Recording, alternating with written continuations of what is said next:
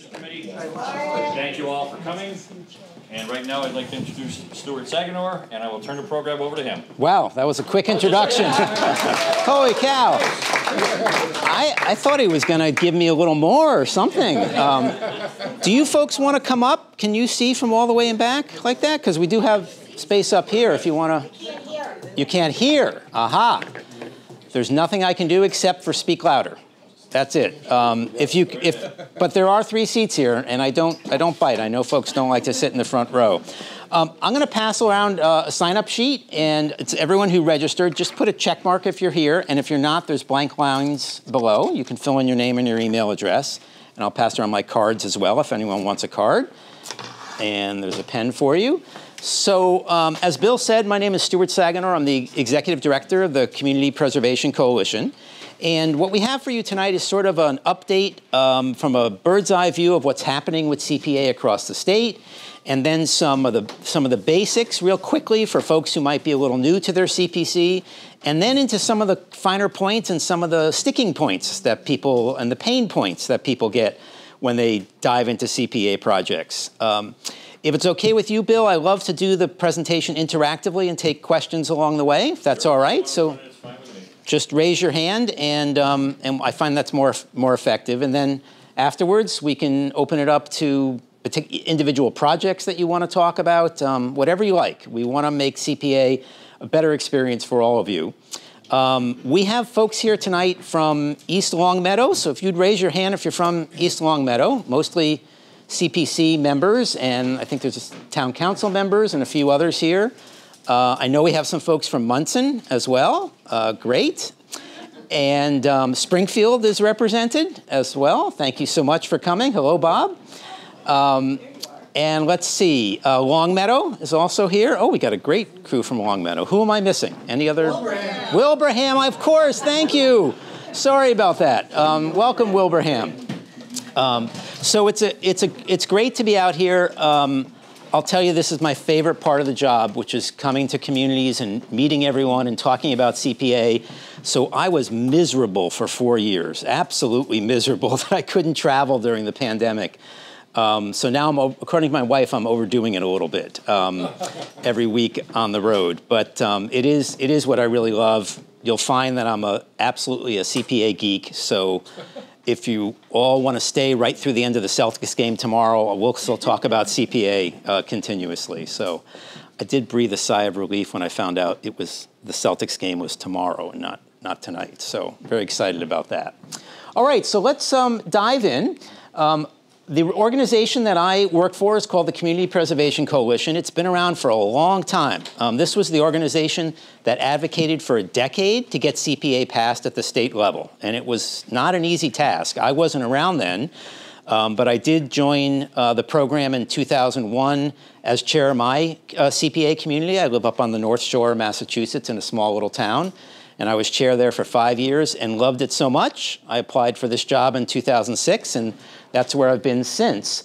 Um, the coalition is um, in the offices of the Trust for Public Land. We've been there for quite a while, um, but they pass us off. Uh, early on, we were in CHAPA, and then we were at Preservation Massachusetts for a while, but we've been at TPL for about 20 years. And the reason why we love though, that location is it's about two steps from the State House, and we spend a lot of time uh, at the State House. These are the founding organizations. They all sit on our steering committee representing all the different aspects of CPA. We have a pretty active 21 member steering committee um, with eight folks from CPA communities. Usually, folks are either an administrator from the CPC or CPC members, and then we have seven at large members as well. And they meet quarterly to kind of guide the advocacy and um, operations of the coalition. Um, and the things we do, I think, are no different than um, other municipal trade associations. Um, if you're on the CONSCOM, you have MACC, the Massachusetts Association of Conservation Commissions, that does education and advocacy and training for you. Uh, there's a Moderators Association, there's a Town Council Association, uh, there's MMA for Select Board and, and Town Council members. Every different constituency has an organization like ours, and we're the ones for CPA communities in the state, and more specifically, the community preservation committees of those CPA communities. And the things we do, I think, are, are typical of all those organizations. The two that I think are the most valuable um, for our communities are our technical assistance. We answer about 4,000 questions a year. It's pretty busy um, by email or phone or phone. Um, it's incredible the number of requests we get, not just from CPCs, but media, legislators, researchers, um, college students. Everyone wants to write about CPA because of the great success it's been. So um, unfortunately, there is no state agency that deals with CPA in any way, shape, or form. There's not one employee at the state of Massachusetts that has CPA in their job title. They spend absolutely zero, and I mean not one dollar on administering the program.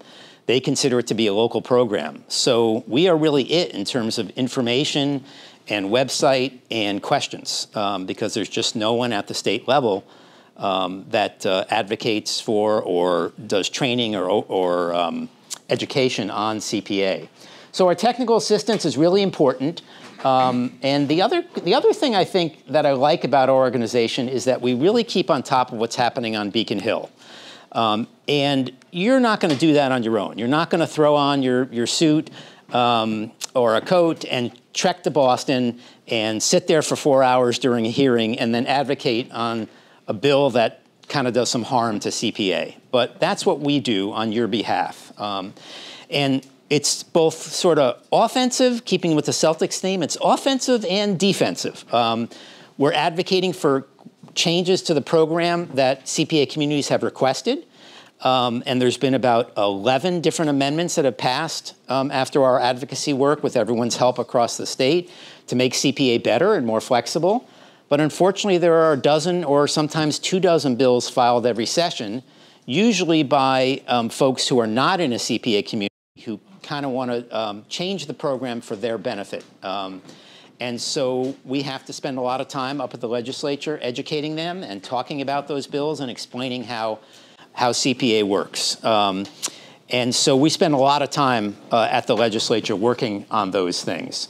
Um, that you're looking at 50% of the coalition staff. Um, the other 50% is right here, Chase Mack.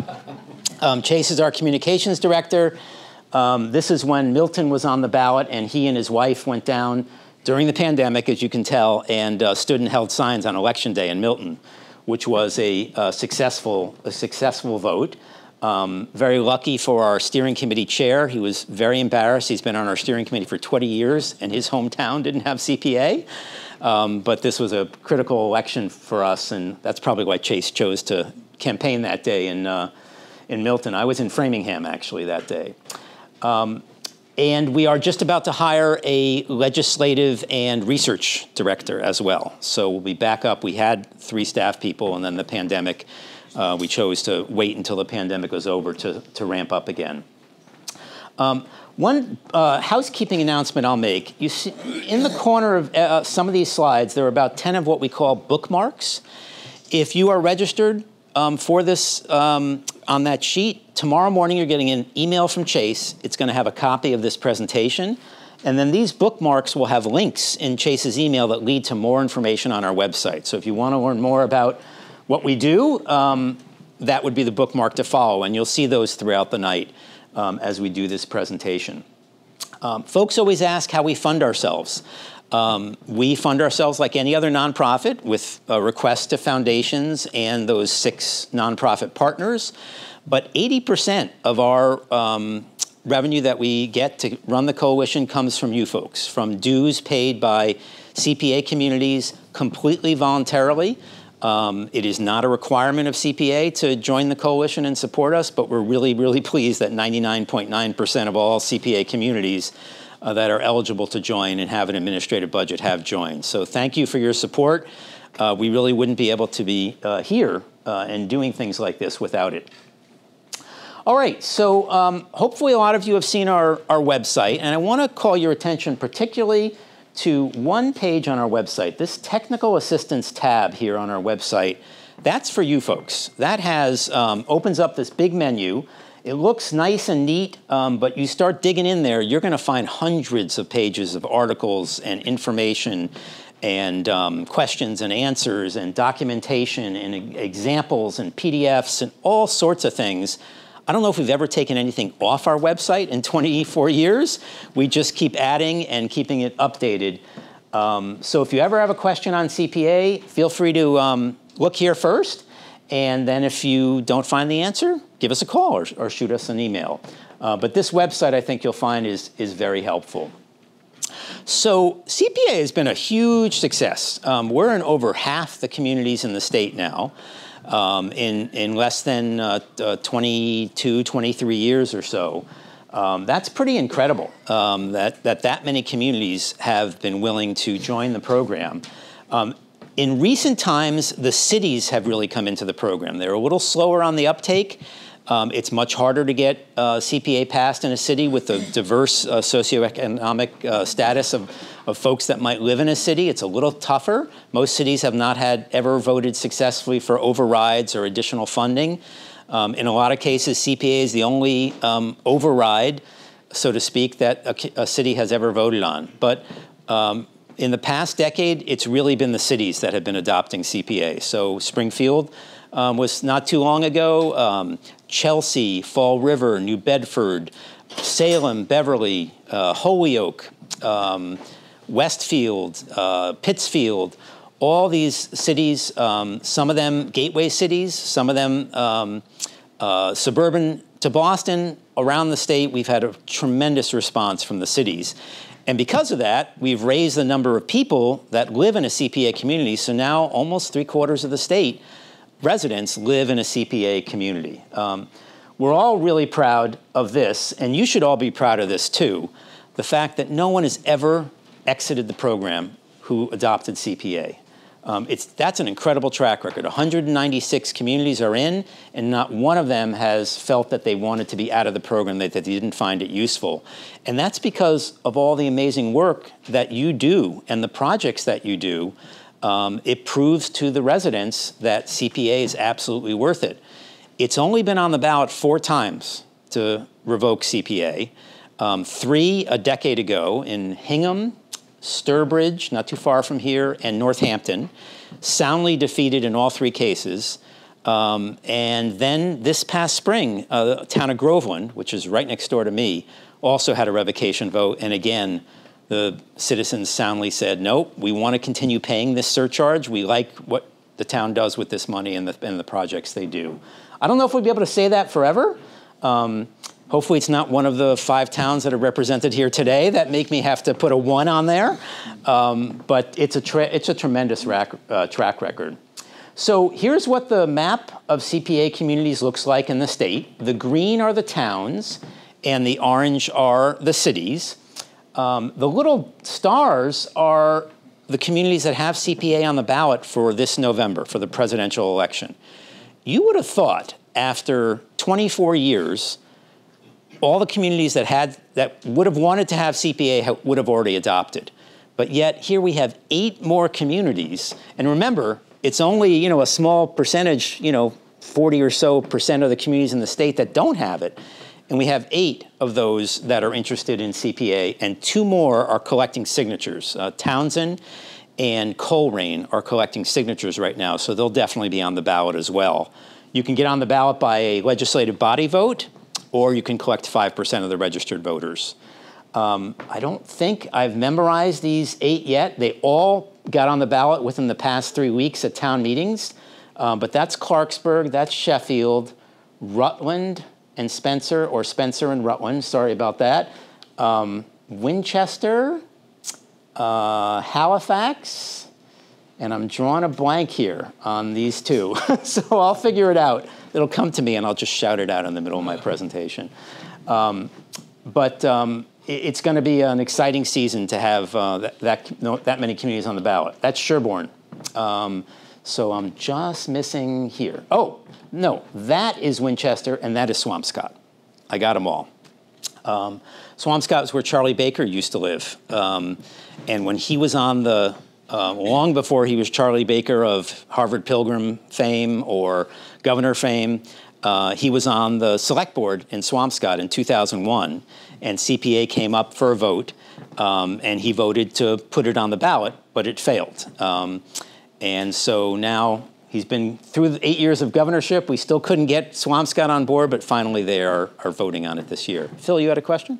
Sure. Why does it seem like it seems to be slow in Western Mass? Yeah, great question. Um, I could talk about this map all night. There are so many CPA stories buried on this map, um, but that's one of them. Why the, the big white area here and the big white area here? Um, I don't know for sure, but I have a, a, guess on each of them, and they're different reasons. Um, for these communities, which we call the highlands of Massachusetts, they're all really tiny. Um, and so it would be very tough to even staff a CPC. You know, the same 20 people do everything in town. And the amount of money they would generate would be really tiny. Um, so I think that's why you haven't seen a lot of organizing there in those communities. Here, um, the only thing that we can attribute this to is it's a much more conservative part of the state. You know, CPA is a tax increase. Um, if you think about it, it's pretty incredible that in every one of these communities that is um, on the map, the majority of the voters at one point stepped into the voting booth and voted themselves a voluntary tax increase. I mean, think about that for a second. That 196 communities said, yep, we like this program. We're going to voluntarily raise our own taxes. And some of them by 3%, which is not an insignificant amount. Um, and that's just a little a tougher, um, it seems like, to happen here in the central part of the state because it's a little more conservative. But there's been a lot of activity you know, this is around the edges are where a lot of the CPA activity has been recently. So it is, it is better than it was. And of course, you can see we have two communities right in the heart of it there. Um, I think the fact that Worcester passed CPA two years ago um, and is ramping up their program right now uh, will really help that part of the state learn more about the program. So great question. All right, um, any way you look at this program, whether you look at that map or you look at the statistics that are on the screen right now, um, showing you what's happened with the money, you can see the huge success this program has had. Um, the number that I think is, is just uh, blows me away every time I say it is this one right here. In, in just over 22 years, CPA has generated $3.4 billion in funding for four restricted, tight categories. Think about that for a second $3.4 billion in just over two decades. Um, that's incredible. Every year, CPA now generates across the state between the local money and the state money between 240 and 300 million dollars every single year uh, because we have these 196 communities and a lot of them bigger cities as well. Um, Historic preservation is the most popular part of the program in terms of numbers of projects, not necessarily in terms of money. The money actually rolls up pretty evenly across the four categories statewide. Um, but historic preservation, you know, the projects tend to be a little bit smaller and more frequent. Um, we're approaching 40,000 acres of open space um, that has been uh, protected with CPA. This is definitely the hottest category of CPA in the past um, eight years or so. Uh, there was some legislation that we worked on. Uh, actually, the biggest rewrite of CPA was back in 2012. A lot of changes made to make it more flexible for the existing CPA communities. And one of them really made outdoor recreation much easier to rehabilitate your existing parks, playgrounds, athletic fields, community gardens, trails. And so we've seen the number of projects skyrocket in this, in this category right here since that legislation was changed. And this is arguably the biggest problem we have here in the Commonwealth, um, more so in the eastern part of the state and out here, but out here as well.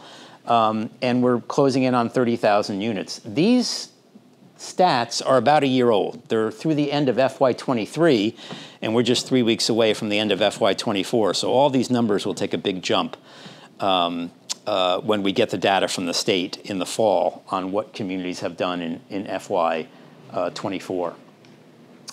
All right, so the money is always where I kind of lead up at the front because everyone's always interested, obviously, in the money. Um, it makes the world and CPA go round. Um, there are two main funding source and one tertiary funding source with CPA. Of course, the biggest amount of money is raised every year through your local property tax surcharge. Whatever your community adopted, whether it's Um, half a percent, we have two communities that have half a percent, um, and the rest are anywhere from 1 to 3 percent. Um, that's your local surcharge money, and that's a, a, surcharge on top of everyone's tax bill with exemptions. Um, and then the magic of CPA is this annual trust fund distribution um, that happens every fall. And we'll talk about a little bit more about that um, on the next couple of slides. So these are your two main funding sources. One thing we always point out to folks is that the law does require that um, cities and towns pay the interest attributable to the fund balance of CPA to the CPA account. So if you have, you know, $600,000 in your reserve accounts and your general undesignated fund balance, um, you are earning interest on that. It's not a separate bank account, you know, at TD Bank like you and I have. Um, it's commingled with the with the town's other free cash. Um, but the town is required to track how much interest is attributable to the CPA portion and pay that into um, your CPA account when they close the books every summer. I emphasize this because um, for the first time ever, we were finally able to convince DOR to put some of the forms that your towns submit to CPA online. Um, it was very hard to access what's called the CP2 form, which is all the data it's the profit and loss statement that your town submits every year to DOR, and would go into a black hole there, and no one could see it. And we finally got DOR to put that on their website, and we now slice and dice that on our website. And when we looked at it last year, when it, in December, when it finally came to us, we saw communities were not get some communities were not getting interest. Now it might be that their town, you know, is very conservative and is not investing that money, um, but more likely the town doesn't realize that this is part of the law and the CPC has never brought it to their attention. So we always tell you to check and make sure this is happening. Um, and there's a report on our website going back 20 years now from DOR, and it'll show you town by town whether you're getting this interest or not and how much it is. Um, but that should be paid into your CPA fund and, and worth checking on. Um, and we have found communities in the past who have discovered it and they can go back one fiscal year, you know, the current fiscal year, and pay you your interest, but previous year's interest, it's, it's gone. So you want to check that out. All right, so now let's talk about the trust fund. Um, and this really is, like I said, the, the magic of CPA. Um, and the money doesn't come from where most folks think it comes from. Most folks, if you ask them, where does the money for the CPA trust fund come from? And it's, you know, can be anywhere from, you know, 50 to 80 million dollars a year um, they would say it came from the general fund, you know, from the budget that the legislature passes every year. But it's much better than that um, from our perspective. It's a dedic- the funding comes from a dedicated fee on top of every document filed at any registry of deed in Massachusetts. So when you go to record a mortgage or a declaration of trust or an order of, order of conditions from your conscom to put in a new pool, you go to the registry, or your lawyer goes to the registry, and files that document, and there's a chart at the window, and it says to file a deed, it costs $185. To file uh, articles of trust, it's 225. $50 of each one of those charges goes to the CPA trust fund. Um, municipal lien certificates, that one document, are $25. I don't know why, but they are. Um, but the rest of them, $50 of every document filed anywhere in the state at the registry goes to the trust fund. And it is a true trust fund. It goes from the window at the registry to an account at the Department of Revenue, which is called the CPA Trust Fund. And the only thing that can happen with that money statutorily is for DOR to pay it out to your communities every November 15th as a match. It would take an act of the legislature to do anything else with that money. Um, that was a big part of our advocacy work from 2000 to 2010. Um, the trust fund had built up a big surplus, and everyone was filing bills to grab that money for something else. And so we were scrambling all over the state house for a decade, uh, you know, trying to beat back successfully um, all of those attempts. The trust fund does not run a surplus anymore um, because we have so many communities, and the real estate market has declined so dramatically that now it pays out virtually everything that's in the account every single year as a match to communities. So um, that's where the majority of the money from the trust fund comes in. Now, when this legislation was first passed in 2000, these fees were actually lower. It was $20 and $10 for municipal lien certificates. And it was that way from the beginning of CPA, when we had 37 communities the first year, all tiny ones that first adopted, all the way till 2019, when we had you know 175 communities and we had Boston and all these other large communities that had joined. And so the match used to be 100% the first six years. DOR is projecting 14% this year. Um, now, we saw this trend starting to happen as early as 2007 and started advocating at the legislature for them to raise this fee from 20 to 50. It took until 2019 for them to agree to do that. Um, and the next four years, up until uh, this year, were pretty darn good again because of the increase. Um, during that period that we couldn't get the legislature to act on that, they did say to us, look, we love CPA. Almost every legislator has a CPA community or multiple ones in their district. Um, we want to help. Uh, we can't raise the fee right now. It's not the right time. It's never the right time to raise fees and taxes. But we'll start putting money from our state budget surplus into the trust fund every November where we have a surplus. And so in nine out of the last 12 years, we've gotten money from the state budget surplus, and that's this other funding source for the trust fund. Um, that is not automatic. It requires us to go advocate for that for a six month period starting in March all the way through the fall. Um, and it's hard uh, because you know shaking money loose from the legislature is really hard. Um, every special interest group, every constituency would love to have a funding source like this. There are very few dedicated funding sources that are not subject to appropriation by the legislature. Um, but that's one, and we're very lucky to have it. Um, this hasn't been great the past two years. We didn't get any surplus money last year. We're not going to get any surplus money this year. There is no surplus right now. The state is in a little bit of a tough, tough uh, downturn. It looks like it may be turning up, so maybe we'll have some luck next year with that. Um, we'll keep asking for it and pressing every year, um, but that has not been a, a, terrific funding source. And that's unfortunate because this funding source is down dramatically as well because of what's going on at the Registry of Deeds. So collections year to date are down about 10%. That's not bad. Last year, if I was standing here in June, I would have said collections are down about 35% last year from the year before. So you all know what's happening in the real estate market, right? There is very little inventory on the market. Very few houses are selling. And so very few fees are being collected at the registry. Um, CPA, the trust fund actually made more money from refinancings over the first 20 years than it did from sales of homes. Um, you know, that's when interest rates were on a long, steady decline, right? Um, and you remember, I don't maybe you don't remember, but you know, when, back in 2003, 4, 5, 6, interest rates were just plummeting, and people would refinance in January. The rates would drop a point and a half. They'd refinance again in June, and they'd drop another point, and they'd refinance again in, in December. And that was ka-ching, ka-ching for the trust fund. Um, it just generated a ton of money, um, and then that's why the match was 100% for six years, and it was pretty high after that as well. Uh, but those days are long since gone. No one is refinancing now, right? Everyone has an interest rate better, we hope, than what's on the market right now. Um, so the surplus funds, you know, are, are not going to be able to come to the rescue like they have nine out of the last 12 years. And unfortunately, DOR just, you know, announced this figure. They are always a little conservative um, because you don't know what the next five months are going to bring from the real estate market. It's very hard to do a projection on what the real estate market's going to do.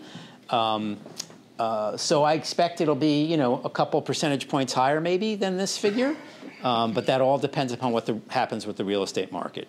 I'm hoping we're at a bottom here, um, and that when interest rates start to drop, real estate activity picks up, and then the trust fund should pick up as well. Uh, but we'll, it will remain to be seen. Uh, that's not something any of us can control, right? All right, any questions on the money piece? All right, great. So let's talk about the CPCs and what you folks do um, and sort of give a little refresher and then some of the, the finer points. Um, these are basically the, the main things um, that a CPC is responsible for on an ongoing basis. Um, you, you do, and hopefully you all do this, um, have, uh, have to have one public hearing a year to get input from the public on what they want you folks to be working on and what priorities they see for CPA in their community. And then you take that information and you update your CPA plan. Um, hopefully you have a CPA plan. I do find that some communities that have had CPA for, for a long time maybe missed this step along the way. Um, but it is required that you have a CPA plan. Um, we have great examples on our website. Feel free to beg, borrow, and steal.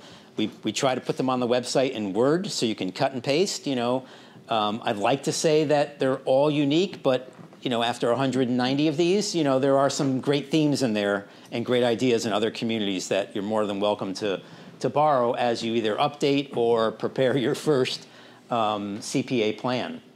Um, the other thing that's important to do, and some communities are better at this than others, is to make sure that you get regular financial reporting from your finance department in your town. Um, you know, a lot of CPCs, I'm surprised um, at uh, how little information they're given by their town on what is in their account balances. Um, and you'd think it'd be pretty simple, but it gets complicated really fast with the reserve accounts, the fund balance, the budgeted reserve, all the projects from previous years that are still going on, money that's been turned back, the administrative fund, interest, people who pay their taxes two years late, and there's a CPA piece on that. It can get pretty complicated. Um, Hopkinton had to hire a forensic accounting firm um, to analyze their books and figure out what their CPA balance was. Royalston has not done CPA projects in two years because the CPC can't get a financial report from their town on what's in their accounts.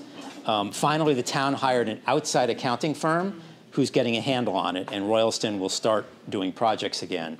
But um, I applaud the CPC for kind of, you know, doing that um, and saying to the town, you know, we can't in good conscience recommend projects until you tell us what's in the accounts. Um, so um, if you're not getting regular reports, you know, on the same um, schedule that a department head would get, you know, your DPW director gets a report. I don't know if it's once a week, once a month, once every quarter. The CPC should get a report. Um, I will warn you that municipal finance reports are a little bit more complicated to read than our bank statement. Um, and so I always recommend that a CPC have one person who spends an hour with the town accountant and really understands that report, and then they take it and they transfer it to a spreadsheet that all of us can read, and then present it to the CPC. So some communities, you know, call that person a financial liaison. Some call it a treasurer, but that's really a misnomer because the CPC has no fiduciary responsibility. Um, but it is a good if someone's kind of keeping an eye on that and making sure that that information is coming from the town finance department. And then these last two are the real meat and potatoes of what CPCs do. They recommend a budget every year to a town meeting or the city council, and they make uh, project recommendations on how to spend uh, the money. So those are the two main reasons that you exist. So the annual budget um, what's great about CPA is even though it's a restricted fund, it doesn't have a lot of restrictions within those restrictions on how you spend your money. There's really only one in terms of the budget, and that is every year you must spend or reserve for later spending 10% of your total revenue for that year in each of these three categories. And what sometimes people miss is the nuance it's either spend or reserve for later spending. You don't have to do both. So if you have a historic project that's worth more than 10% of your budget for that year, you don't have to then put another 10% in your historic reserve. Um, the reason why it might be good to put it in first and then pull it out is that what happens if town meeting turns down that project? Now you're in violation because you, you, you were counting on that project to be your 10%. So as a best practice, we recommend that you do put 10% in each and then pull that money out of the reserve accounts when you, when you need to use it. Um, so there's a housing reserve account. The open space and recreation categories share a reserve account. When we say open space in CPA, we mean conservation land. So projects that take place, usually it's acquiring conservation land. Um, you know, land as close as possible to its natural state.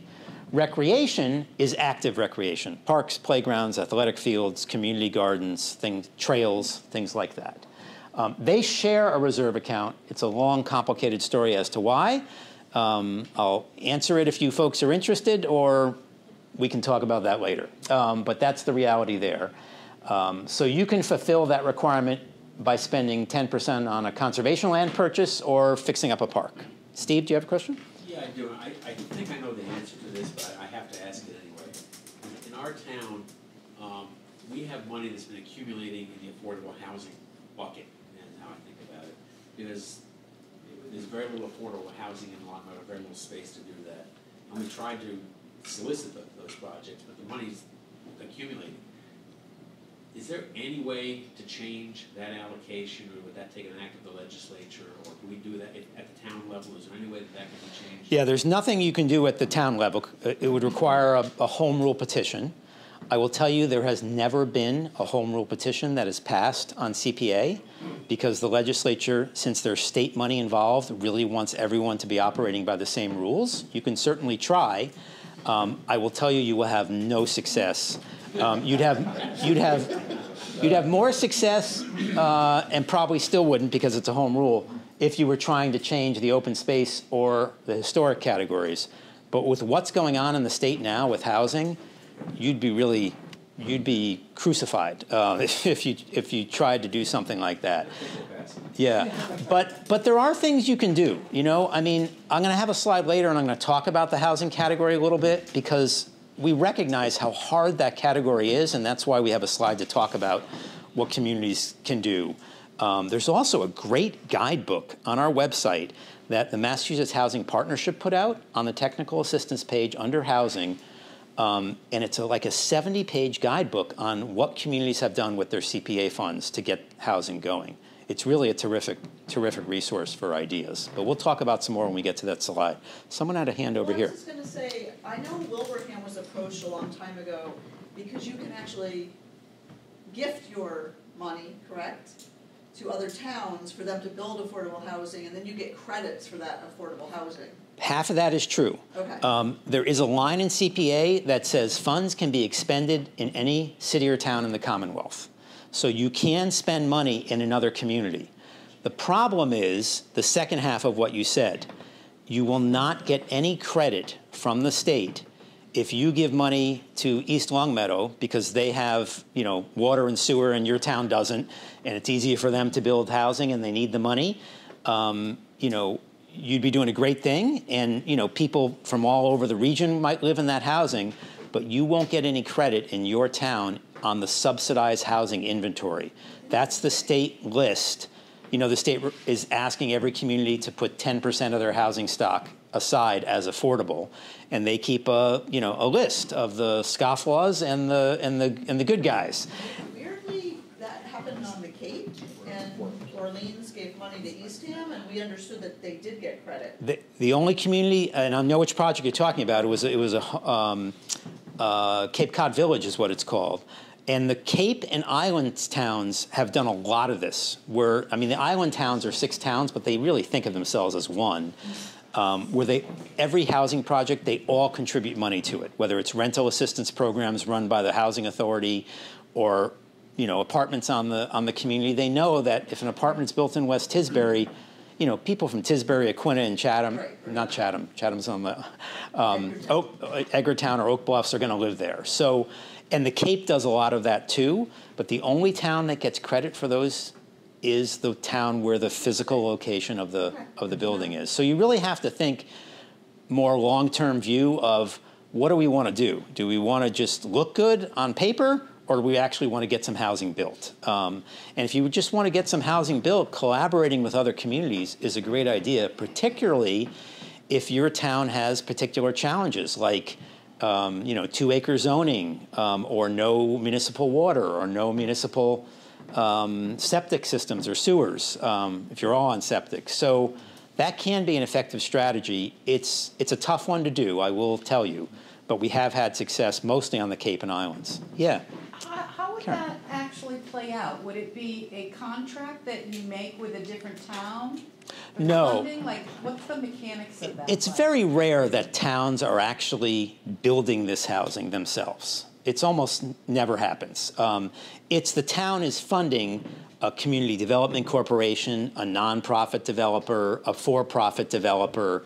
Um, the housing authority might be building more units, although that's kind of rare as well. Um, so the town, let's say there's a project in Springfield, um, and it needs a lot of money, and some of the surrounding towns decide to invest in that. The CPC would um, sign a grant agreement with whoever was developing that project and give the money directly to the developer. Um, so the town of the city of Springfield would have no party to that. It's a you know uh, a private, for-profit or profit uh, company building it, and the community would be supporting that development. So, good, great question, actually. Um, all right, so um, any other questions on this part of the budget? What, Yeah, what do they consider affordable housing? it's housing occupied by someone who earns less than 100% of the area-wide median income for your community. So the Department of Housing and Community Development publishes a chart of what the average family of four earns in your community. We take that chart um, because they do it by regions, like Massachusetts is divided into 12 big regions, and everyone in that region has the same median income. We take that chart, and on our website, we have a spreadsheet with 351 lines on it, and we show you the exact dollar figures for every size household a, a, a person, a family of one, family of two, family of three, family of four. The chart goes up to eight. And we show you the exact figures that would qualify for affordable housing in your community. So, um, most affordable housing programs will only, the state, federal, will only fund up to 80% of the area wide median income, but CPA can go up to 100%, which is, which is good because a lot of times people who work in a community as firefighters or policemen or teachers, they earn more than you know the lowest income, but they still can't afford to buy a home in that community. So the fact that CPA can go a little higher, what we call moderate income, is is great. So CPA is not just for low income; it's for low and moderate income folks, and the numbers are on our website. So great question. Stuart? Yeah. Any type of housing that would fall under that category? Um, in terms of new construction, you mean, So or not, exactly. Yeah, absolutely. Anything as long as there's a deed restriction on that unit that it was going to be occupied um, by someone under 100% of the area-wide me- median income. So it could be a condo. It could be we've had group homes, you know, that are staffed and people with um, um, disabilities live there. We've had veterans' homes. We've had single-family homes, apartment buildings, housing authority, uh, public housing, um, all different types of housing built with CPA. And the only thing is, the person living in it has to earn less than 100% of the area-wide median income. If they do, you can fund it. So, Karen. Okay, you might have answered this question at another time, but when you look at the, the area median income for eighty percent, hundred percent, and then you look at the, the, the half fees, there's like a difference between their eighty percent and the CPA's eighty percent. Yes. So that is just always stumbled, I've stumbled over that, like Yeah. which one Yeah. should. Um, that is a quirk of the CPA legislation. Um, HUD. Anyone ever dealt with a I said hat, I meant Yeah, HUD. Anyone ever dealt with HUD? I mean, talk about red tape federal bureaucracies. HUD is the champion. This, this gentleman over here has had some dealings with HUD. they are the champion. And, And the way worse. they have 100%, which is the average of what someone earns in every metropolis in the, in the country. And you'd think for low income, 80%, they would take that number and multiply it times 0.8. You know, take out a little calculator. Really, the cheapest calculator would do that calculation times 0.8. That's 80%. But no, they build the 80% number using 500,000 data points, you know, on a gigantic spreadsheet and calculate 80%. And it is not 20% less than 100%. Right. CPA legislation, unfortunately, probably through bad drafting, said that CPA shall calculate 80% by taking HUD's area-wide median income and multiplying it times 0.8. Um, so don't worry about it. No one has ever gone to jail from letting someone live in there with the wrong 80% figure. So the problem is that um, every CPA housing development has used dozens of funding sources. There's never enough money. Housing is expensive. You're not going to fund 100% of a housing unit with CPA or any other program, frankly. So each of these programs that puts money into that housing unit has their own rules, right? And it comes, becomes very difficult. So if you're in a situation where there's other money that has to adhere to HUD's 80%, just go with it. Don't worry about it. Um, we're going to get that fixed. That's one of the changes we're going to propose next year is to align ourselves with HUD. So the reason why I'm asking is we have our historic homes program, and part of it is scale. So when we talk about eighty percent, I'm looking at the HUD figure, but the hundred percent is the CPA. So Right. that's why, like, I don't know, Just pick one. pick one? Just pick one. All right. Just pick one We'll and pick go the with it. better one. Yep. Okay. Just pick pick one and go with it. Um, trust me, it, it will be just fine. It's a quirk in the legislation. It's impossible to adhere to both rules, um, and we'll get that fixed.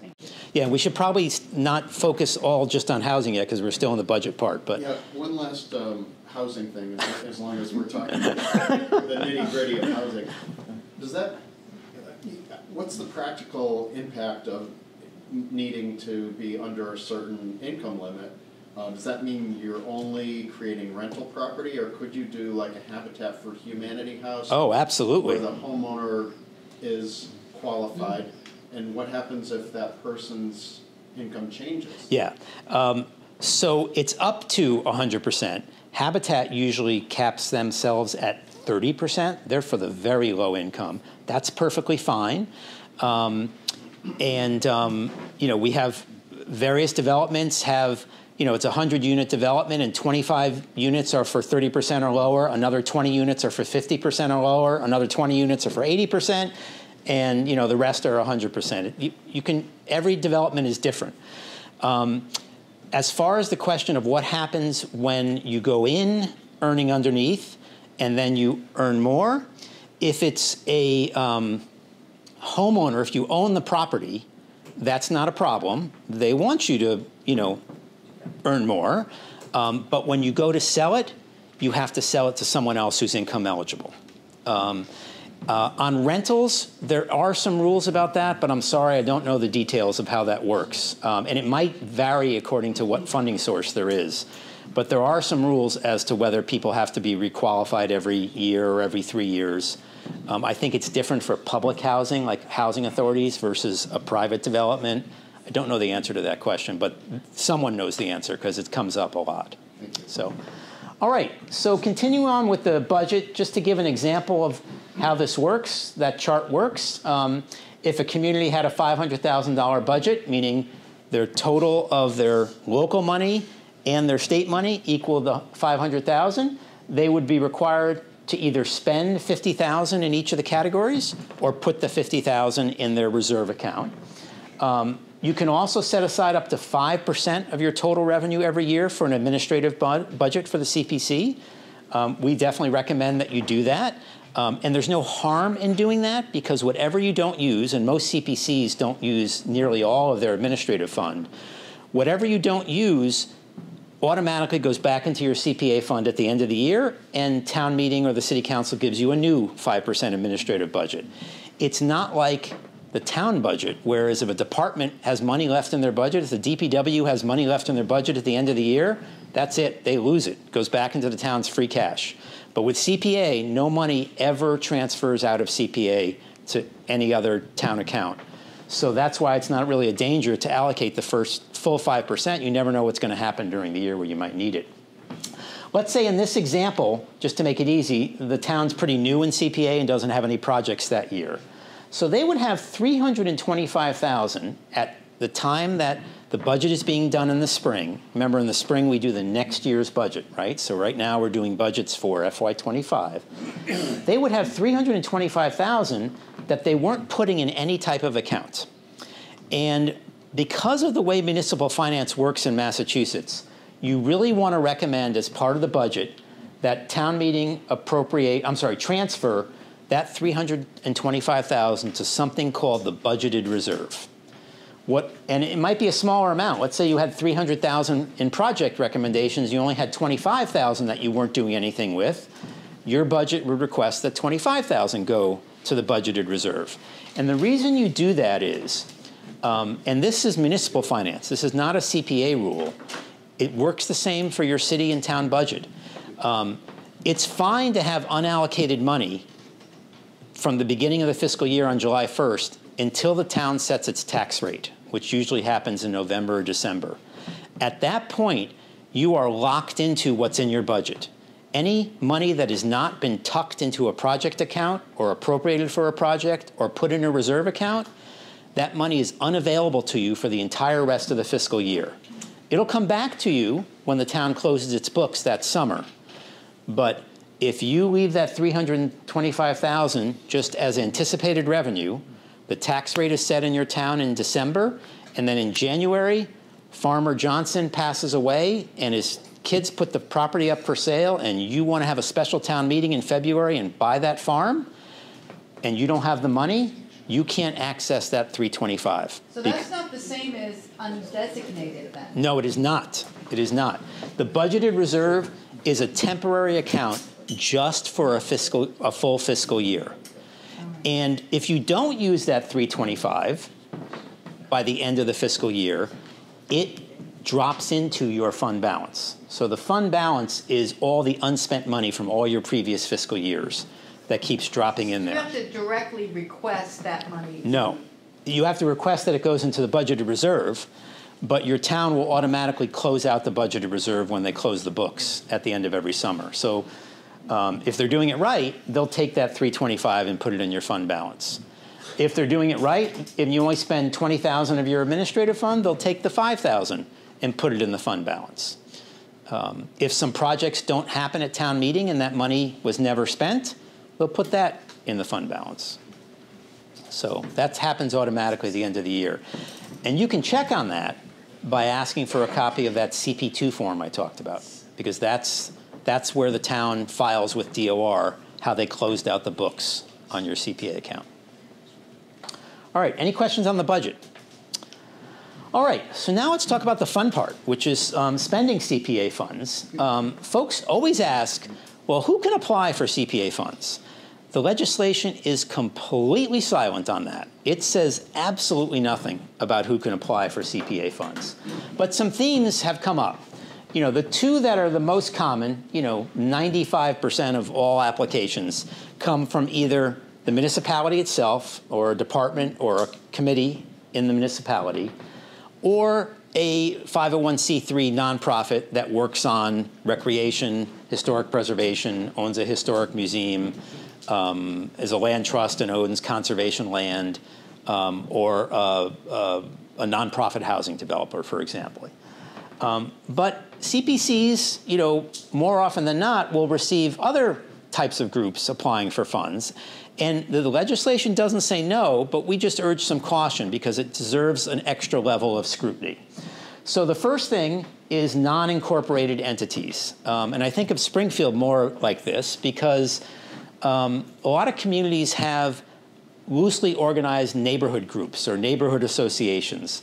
And they're not 501c3s, they're not incorporated, um, but they may have a checking account that Mary manages, you know, and they may do flower plantings in the, in the public garden, you know, in the middle of their, their neighborhood. Well, you can't, municipalities cannot cut a check to anyone that doesn't have a federal tax ID number. They can't just give the money to Mary and say, hey, yeah, put it in your account, we trust you. Um, so a non-incorporated entity would be pretty much a non-starter, not because of CPA rules, but because of state uh, procurement rules, basically. Um, some communities, um, and again, Springfield gets gets the uh, credit for being examples here. Um, you know, want to help individual um, um, homeowners of historic homes. Usually, um, that's a very complicated and difficult process. I only know of three communities that do that. Um, Cambridge has been doing it since the very beginning of CPA. They have a six person paid professional staff in their historic commission. No one else has that, even Boston. Um, so they know what they're doing with that. Um, and then the world-renowned expert on how to do this is sitting right here from Springfield, Karen, who has started a program with her CPC's um, help in Springfield. Are you learning a lot about? Um, We tweak it every year. yeah. Um, and it's, it's almost at the sweet spot. Yeah, great. And um, how many bottles of hair color did it take you to, to, to, to Four. or the gray? Four. All the gray that Karen's got from doing that program. Um, so, um, you know, there are some models. We have uh, profiles of, of the Springfield program and the Cambridge program on our website, but it's not for the faint of heart. It's, it's a complicated process, as Karen will tell you. Um, and then the other one is privately owned historic buildings, not by necessarily by nonprofits, but buildings that are owned by commercial buildings that are, might be a historic commercial building downtown owned by a developer who rents it to offices and stores, and religious institutions. Um, neither of those are exempt from receiving CPA funds. It's absolutely fine, but there's a right way and a wrong way to do it, particularly with religious institutions, because we had a lawsuit that the only CPA lawsuit that went all the way to the state's Supreme Judicial Court, um, and their ruling just made things 50% more complicated, uh, unfortunately. It was a very unsatisfactory ruling because it left more questions than it had it answers. So this is a tough one. We just recommend you send those applications to your town counsel and let them um, let you know whether they're okay or not. We do have some great examples of, you know, downtown improvement, facade on historic buildings in downtown. Lowell has a great program where they're giving money to commercial people who own buildings downtown, but they're beautiful and they really contribute to the character of downtown. Have you done any of that in Springfield? Um, Fall River has done a lot of that. Yes. Yeah, great. Yes. So if you do something like that, let's say, you know, in the center of our town, we've got a historic commercial building, Yep. and we're willing to give them money to redo it, you have to put a deed restriction onto it? You don't have to, but you should. Um, there's something which is on this slide right here that identifies that. So it's not a CPA rule, but we do have something in Massachusetts called the Anti-Aid Amendment. And it's, an, it's not a law, it's actually an amendment to our state's constitution. It's from 1853. Um, and basically what it says is, it says no money can be spent on no public money can be spent on private assets. That's actually what it says, and it was put in place when all the Irish Catholics were coming to America to flee the famine, and the folks who lived here already wanted to make sure the Irish Catholics, you know, stayed as bricklayers and, and laborers and didn't want them to be educated and didn't want public money going to support their religious schools, Irish Catholic schools. And it was done by a, a party we used to have in Massachusetts called the Know Nothing Party. Believe it or not, that's what it was called. Um, and that is still on the books. It's very hard to get a constitutional amendment changed. Now, it's been interpreted in the courts to be a little bit more flexible than that. And basically, what it says is any expenditure of public funds must be used to advance a public purpose. So you can't use public money to a private organization for a private purpose, but you can give public money to a private organization to accomplish a public pur- uh, purpose. So the example I give is my town every year gives 3,500 of our municipal budget to the Help for Women and Abused Children program. And in turn, that program agrees that if anyone calls needing help from my town, they will help them with their hotline. Um, so that is public money going to a private organization, but they're using it to fulfill a public purpose. The most common public purpose for CPA is getting preservation restrictions on historic buildings. So when you give money to, getting back to your example, that commercial developer who has a historic building or a nonprofit that has a historic museum, um, you would ask for a preservation restriction back in return. And the city or town would own that preservation restriction, keeping that building looking historic. In most cases with commercial developments, you do what's called a facade um, restriction just on the front because the rest of the building or the interior is not really visible to the public. You just want to make sure that the facade stays looking great and they don't paint it pink um, or put vinyl siding on it after you've given them money to fix it up. Um, and that's, you're doing that restriction not because of CPA requiring it, but to fulfill the anti-aid amendment. Yep. And there are other ways to fulfill the anti-aid amendment. You know, some some projects a restriction really is hitting you know a little tiny brad nail with a sledgehammer. You know, it's just it's a ten thousand dollar project to fix the front steps of the historical society museum. Um, you'll spend ten thousand dollars on legal fees doing a preservation restriction. You know, so there are other ways to to do it as well. Um, you know, um, and your town counsel can help you steer through that. Some communities, there's a great example on our website. Great Barrington does what's called clawback agreements, so they don't do a preservation restriction on tiny projects, but they do have a, um, a contract, you know, a grant agreement, which you should have anytime you're giving public money to a private group. And the grant agreement says if you ever sell the building, change the exterior, you know, or undo this work, you have to pay us back. Um, so, yes, sir. Just a question, you, it's a, uh, two of the normal sources, uh, or, or applicants would be municipalities or five oh one C threes. Right. Private five oh one C threes, do they, do they, they fall under this, this issue? Yes, absolutely. It's a, a private organization can be a nonprofit private organization or a commercial private organization. Um, so housing developers, a lot of housing is built with from nonprofit developers like Habitat or a community development corporation, but a lot of affordable housing is built by you know uh, Pulte Homes. My question, say a nonprofit housing, uh, organization, would they be, because they're not public, would they fall under this restriction? Yes, absolutely. So Whether they're for-profit or not for-profit. Doesn't matter. Five oh one C three, period. They're a fi- they're a private organization. You're giving public money to a private organization. You've got to protect the public benefit in that and make sure it's used for a You're public saying purchase. if it's a public, right? So it doesn't matter if it's public or private? No, he's Well, saying uh, He had, he, he had listed uh, municipalities and five oh one C threes, it didn't say, or, or it said five oh one C three nonprofits. Uh, But this is where Right there, this is where, where you're really talking about like a, a commercial develop, development or a for-profit housing developer. Well, no, I guess my question is, is a five oh one C three nonprofit housing developer exempt from that anti-aid, or does it also Nope, come through that? it's Okay, still a private organization, right? So you gotta you So gotta they're in both categories? yes, The absolutely.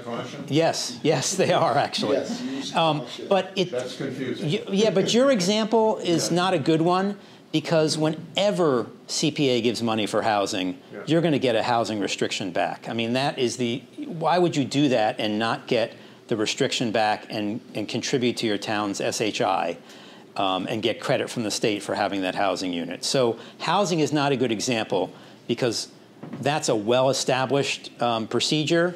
You give money to a housing developer, they know they're giving an affordable housing restriction back to the state. It's the only way they can build an affordable housing unit um, and get other funding is to put a restriction on it.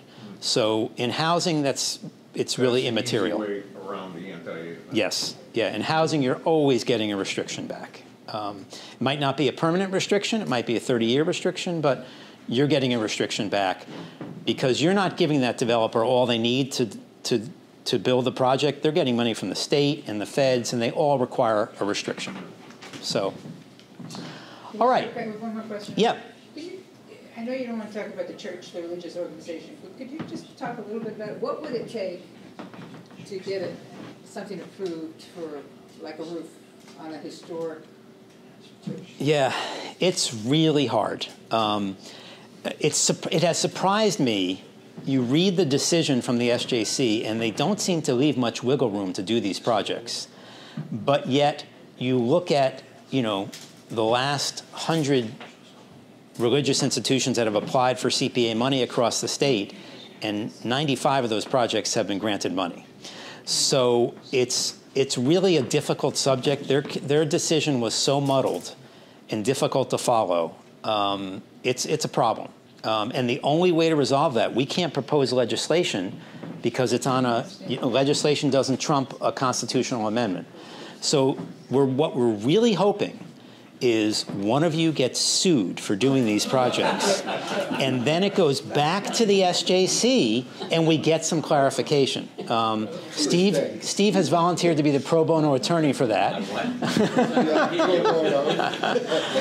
saying if, if it's, if the facility is used for the public good, I mean, like, you know, having meet there and all those kind of things. Right. Does that count for It, it? it, it does count, but it's a you have to follow what's called the Helmes test. Yeah, I'm, Steve has bored us to death. Right. You have to follow the Helmes test, which has three factors. And one of those factors you'd get credit for, the fact that it's used for non secular purposes too. But the other two factors might sink you, you know? Um, so, ninety-five percent of people just, they just do it and they just do it. yeah, I, I am so surprised. No, usually they send it to their town counsel. I think most folks are following our advice.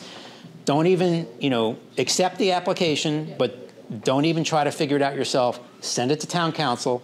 Ask them if they can fund the So project. don't just say no, but go ahead and send it. You don't want to say no, and here's why. This was a Massachusetts court on a Massachusetts constitutional amendment. There's the federal um, anti establishment clause in the federal constitution. And there was a federal case right around the same time that came to the opposite conclusion that Massachusetts came from. And it was, uh, I think, they call the Trinity Lutheran case from the Midwest, where a church applied to a state program that was giving money to fix up playgrounds at schools across the Missouri, I think it was. And the church, the state said, no, we don't fund private religious organizations, their playgrounds, it's only for public schools. And they sued, and the Fed said, you're discriminating against that organization just because of their religion. You have to make that program available to everyone. So it's really the opposite of what Massachusetts, our um, anti aid amendment is much stricter than the federal. And so if you reject the application, I mean, I, I sympathize for CPCs, you're between a rock and a hard place. If you reject the application, you could get sued by the religious organization for discriminating against them because of their religion. Um, so We funded about four, I think four. Would you, can you edit the, the, can you edit or turn off the camera while we have a, no, I'm only kidding. I'm only kidding. Yeah, zip on that. Um, and I think it, what's important is just to stay away from the religion iconology. Yes, that one is clear. There- If there was, if there was one, if there was one thing that was clear was, Stained glass windows. yeah, that one was clear. Jesus, cross, then, you know, that window So a doesn't get roof. covered. What about a roof on a historic structure? Yep. That, that works, in your mind. It's just interesting. Yeah, Oh. because it's a historic. It varies. Right. I mean, Structure of the church. Yep. Needs to be moved. I mean that, but that's what Acton said. Acton said, we're not funding this because it's a church. We're funding this because it's a significant historic structure. But the, the court didn't buy it. They said the religious, the anti-aid amendment trumps that. Um, so it's complicated, folks. Um, so. I read something, a case that you guys had on your website, that was, the difference was, is that part of the church available to the general public? Versus like the actual, like altar, like that's not. Um, that is a determining factor, but like I said, the Helmes factor has three tests, so it would, it would qualify under one of the three, but you might get sunk under the other two. Um, the court did say one of the projects in Acton was also to fund two houses owned by the church that they rent out as affordable units. And even though they were owned by the church, the court did seem to indicate the project, the money wasn't being given specifically to those, it was being given to the stained glass windows. But they indicated that, for example, if it had been for the completely secular use, even though it was owned by the church, that may be okay. They also said they left a little window open saying if the building is so hugely historically significant, and they gave the example of the Old North Church, you know, from our revolution, um, and um, they have received money from a federal program, and they used that as an example. But they seem to say, you know, the litmus test was really high for historic significance because, frankly, these churches are all hugely historically significant. They're the fabric of a New England community, you know? So it was disappointing um, to get that decision. Okay, so now on to, um, uh, we did that. Now on to uh, um, how to determine if you are okay funding non-religious projects, um, which is most projects. Um, so anyone recognize this chart? Um, so this is the CPA allowable uses chart. Um, this is a visual representation of section 5B2 of the CPA legislation. 5B2 is a gobbledygook paragraph that only a lawyer could love. And it basically tells you what you can do with your CPA money. Um, but it reads, you know, like you would never understand what it, what it said. And frankly, from 2001 to maybe 2004, when I was chair of my CPC, none of us had any idea what we were doing. Um, this was a brand new law. CPA had never been done before anywhere in the country. It's still the only law like it. You know, it was the Wild West, and we were figuring it out. Um, and then DOR took that paragraph and put it into a picture, and it was like, like a thousand light bulbs. A picture's worth a thousand words. It really helped. Um, that doesn't mean it's easy to determine what we call allowable uses, but this does help. Um, so you want to keep this chart really handy. This is the simplified version of the chart. There is an official DOR version on our website. The only difference is it has the, the definitions of all these words in these boxes, the official DOR version.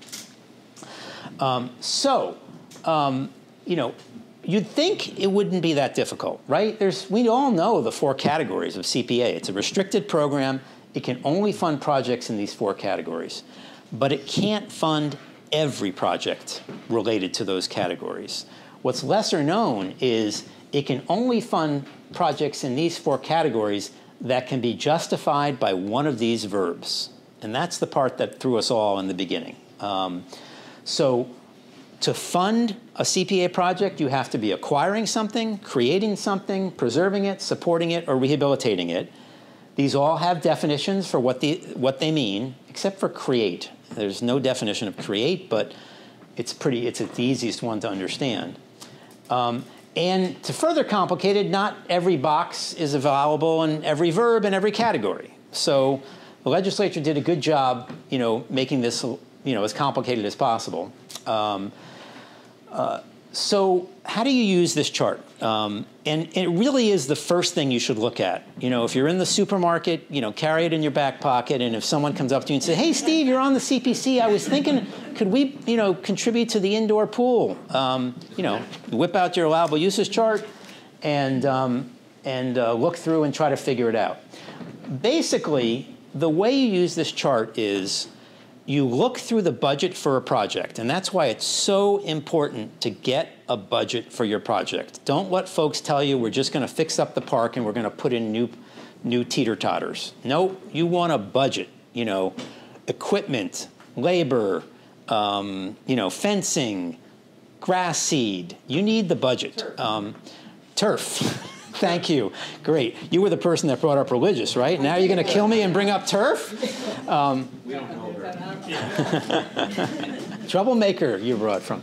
Um, so um, the the budget is you know it's not perfect. It can't you know at that point no one has a bid out you know so but a rough budget you need some idea, and then you look through each line item in the budget, and you have to find a box that justifies that line item, and if it says yes in there you can do it, and if you can't find a, buck, a box that has a yes or a yes if acquired or created with CPA funds, um, you can't do that, that piece of that project. So very often, some pieces of the project are okay and others aren't, and you just take those out of the budget.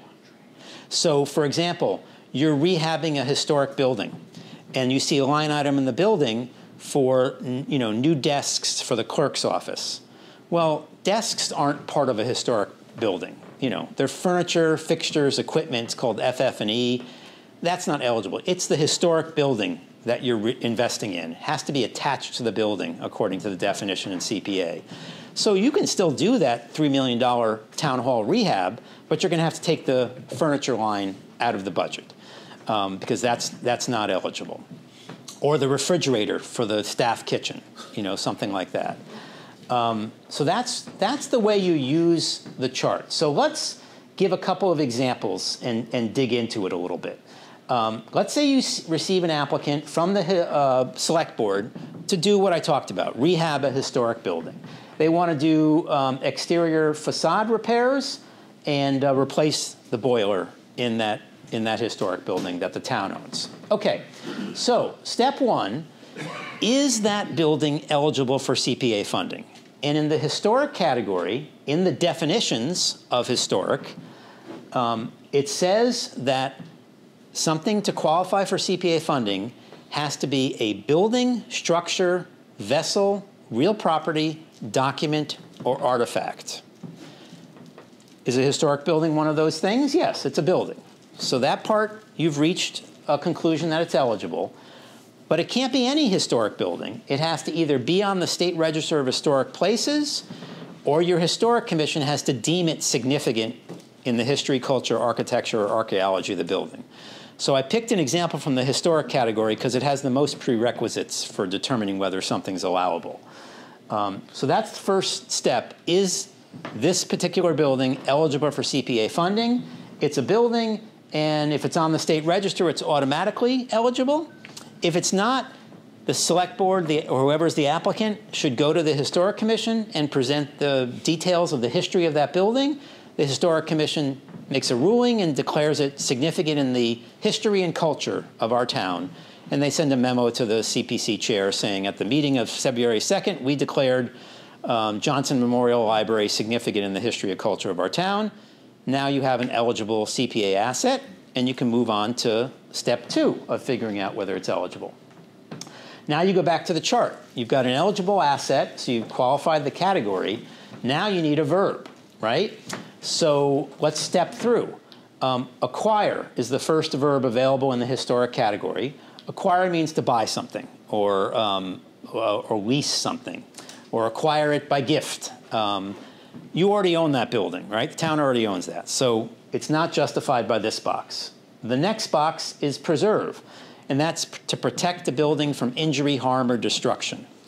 Um, if there's a sprinkler alarm system in the budget, that would be justified by this. Um, uh, but most things that you're going to want to do when you're fixing up a historic building are in this box right here. You're basically rehabilitating the building, you're bringing it back to its former glory, you're putting it back together, and making it um, making uh, the necessary building code and ADA improvements to bring that into me more functional for its intended use as whatever the building is. So the vast majority of historic projects, this is where most of the action is on historic projects. Um, on open space projects, this is where most of the action is. You're buying conservation land. Um, in recreation, you're usually either rehabbing existing recreational assets or creating new ones, building new parks or new playgrounds or new athletic fields. Um, so, uh, support would be maintenance, or what would support? Support is only available in the housing category, okay. um, and the reason for that um, is that the legislature knew that was going to be the most difficult category. And you'll notice there's the most verbs available of any category in the housing category. They wanted to give you as many tools in the toolbox to do that. Um, and support really has a very broad definition. Um, so communities have used support to do rental assistance programs, to hire housing coordinators for the town, to do housing production plans, to do perk tests on a piece of land that the town owns to see if it can, uh, can support a well or septic. Um, it's basically anything that is along the way to developing affordable housing. Um, because you know, when you build housing, there's five years of red tape and studies and requirements before you even get a shovel in the ground. Support can take you through those five years of all those pre-development steps. Um, all right, so we, we have step two done. We have a verb that fits this project. Now, when you've qualified that it's eligible, a lot of times folks say, okay, it's eligible, let's send it to town meeting or send it to the city council. Well, that is not what a CPC's role is um, you know, determining eligibility is just the first step. Now the conversation happens. Is this a good idea? Is this a good use of our precious public resources. CPA is a pretty modest funding source, um, and it can't fund everything. So um, you don't have to recommend a project just because it's eligible. And I, I sometimes find CPC members don't know that. They think if it's eligible, it's got to go to town meeting. But the role of a CPC is really to, you know, fulfill what the plan, what your CPA plan called for, to figure out what projects best fit the needs of the community that have been uncovered in the plan, compare it to other applications that cycle. You know, a lot of CPCs get more applications than they have money every year, so they have to figure out what to do by evaluating the projects. We have some CPCs that use scoring sheets, you know, and every CPC member votes and scores, you know, a project on 20 different attributes. Um, we have a couple of examples of those uh, from Groton and Greenfield on our website. How many times have you gotten an application and it's a mess? You know, it's just an idea. It's not really well developed. Um, it's very controversial, and no one really has, you know, gotten the selectmen on board yet or the rec department on board yet. You don't want to fund things unless they're really ready for prime time. You don't want to put the CPC in the crosshairs, you know, of a project. That's what happened and led to the revocation effort in Sturbridge. They funded a controversial recreation project that was going to take down some, um, you know, trees and open space, and folks really got upset about that. And they said, you know, not only are we going to fight against that project, we're going to take out the funding source that was going to fund that project. So you don't want to put the CPC in the crosshairs of, you know, a truly controversial project or one that's just not ready for prime time. A lot of CPCs also want the applicant to not just rely on CPA. CPA is easy money. You know, it's it's it's your friends and neighbors sitting at the table. It's very hard to say no, you know, to your fellow you know committee members in town um, or your you know very uh, strong town manager. Um, um, or a, a, you know a powerful select board member or mayor who's putting the squeeze on you. Um, so you know you definitely want to make sure that they're not just going for the easy money, that they've done the work to apply for state grants, maybe done private fundraising and that sort of thing. Um, you don't want to go overboard on that because other funding sources are hard. But if it's a nonprofit coming to you, you know it would be great if you know 10 or 20 percent of that project they agreed to do private fundraising for um, because that makes the project that much more palatable to the town if they're doing that. So that's kind of how you use the project and, and, um, and arrive at a decision. Um, so now let's go back to the chart and let's pick a project that wouldn't qualify for funding. Um, let's say you receive um, a, an application from the Historic Society to do an oral history video production of World War II veterans. There are only seven World War II veterans left in our town. We want to hire a professional video production company, film their stories, edit it into a half hour program, put it on the local cable access, put a copy at the library, and use it in the third grade curriculum. Uh, and it's going to cost $20,000 to hire this video production company and, and distribute the, the tapes. So, um, is that eligible for funding? Step one, right? Um, is it um, is it you know in the um, in the historic definition? Is it a building, structure, vessel, real property, document, or artifact that you are creating or funding? I don't think so. Um, really, what you're doing here is you're creating a new video program. If you really look at the budget, what's the budget being spent on? Hiring a video production company to create a video. Um, it also kind of fits this category too, which is it's something that supports the historic category. It's definitely a historic project. Remember, I said you can't necessarily fund every historic project. Um, and it fails the verb test too. You're not acquiring a building, structure, vessel, real property, document, or artifact. You're not preserving one, and you're not rehabilitating a building, structure, vessel, real property, document, or artifact.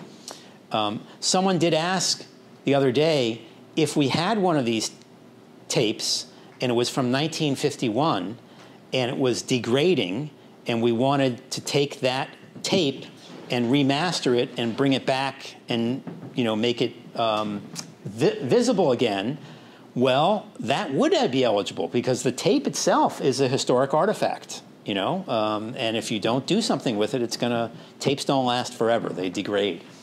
Um, so that project is not eligible for for CPA funding. So yeah, Bob. Where does, where does studies fall? Okay, um, studies is a long, long answer. Um, uh, the first thing about a study is it must be a study leading to an allowable CPA project.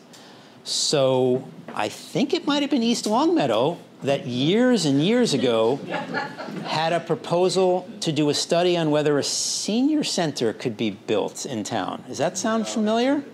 Was it Longmeadow? Could be Longmeadow. Was it Wilbraham? It was somewhere around here. Um, and they called, and we pointed to the to the DOR guidance that says because the project can't be paid for with CPA funding, you can't build a senior center with CPA funding, a brand new one. Um, you couldn't fund the study either. So that's the first thing. You have to ask yourself: Is it a study that is going to lead to an allowable CPA project? Um, if it is, then likely you can study it um, and, and appropriate the money to the study. Um, but it would be a project, just like anything else. The study would be the project. It would be like phase one of the project. So we want to build pickleball courts in town, but we don't know which piece of town land is the best for it. We want to hire a company to do all the engineering and figure out where to put these pickleball courts and cost them out and design them. That's phase one, and you provide the money for that. We call it a feasibility study. And then usually they come back the next year because all these projects, these studies all take a year. Um, and, uh, and then they ask for the money to actually do the project. That's usually the, the logical step for studies. Um, general studies like to study, well, housing general studies can fall in here, so like a housing production plan. But general studies to like, you know, examine, you know, all the historic resources in town and do a condition report on them, that's really difficult to justify because that's really support of the, of the category. Individual assets, it could be phase one of the actual work on that asset, but general studies are much tougher than specific project studies. So that's the best overall answer I can give you, but they're really very, these studies are very fact specific. The other thing I will tell you is municipalities are famous for studying everything to death. Um, and every law requires 16 studies beforehand. Um, it's not exciting to your electorate who gave you a voluntary tax increase to see in the database that 16 studies have been done, right? Um, so we tell folks, particularly in the early years of CPA, don't go study happy. You want to you know, do some demonstrable projects for communities so they can really see what their tax dollars are going for. Um, and try to get the studies, to push away the studies and get, have them get other money. And then once it's determined that it's going to work, then fund the project, you know, the actual construction. Much better use of CPA funds because how many times do studies just end up on a shelf and never get used? And CPA is a pretty modest funding source compared to the 100% of the general fund for the town, it's usually better to do the study out of that um, and, uh, and then fund the actual project if it comes to be. So, all right, we're nearing the end here.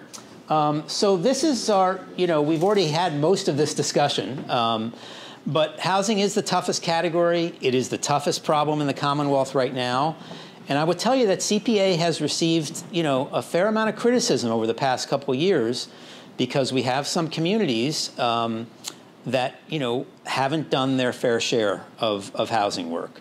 Um, and I do think that it's, we're already seeing it. Um, we're having to do a little work on Beacon Hill already.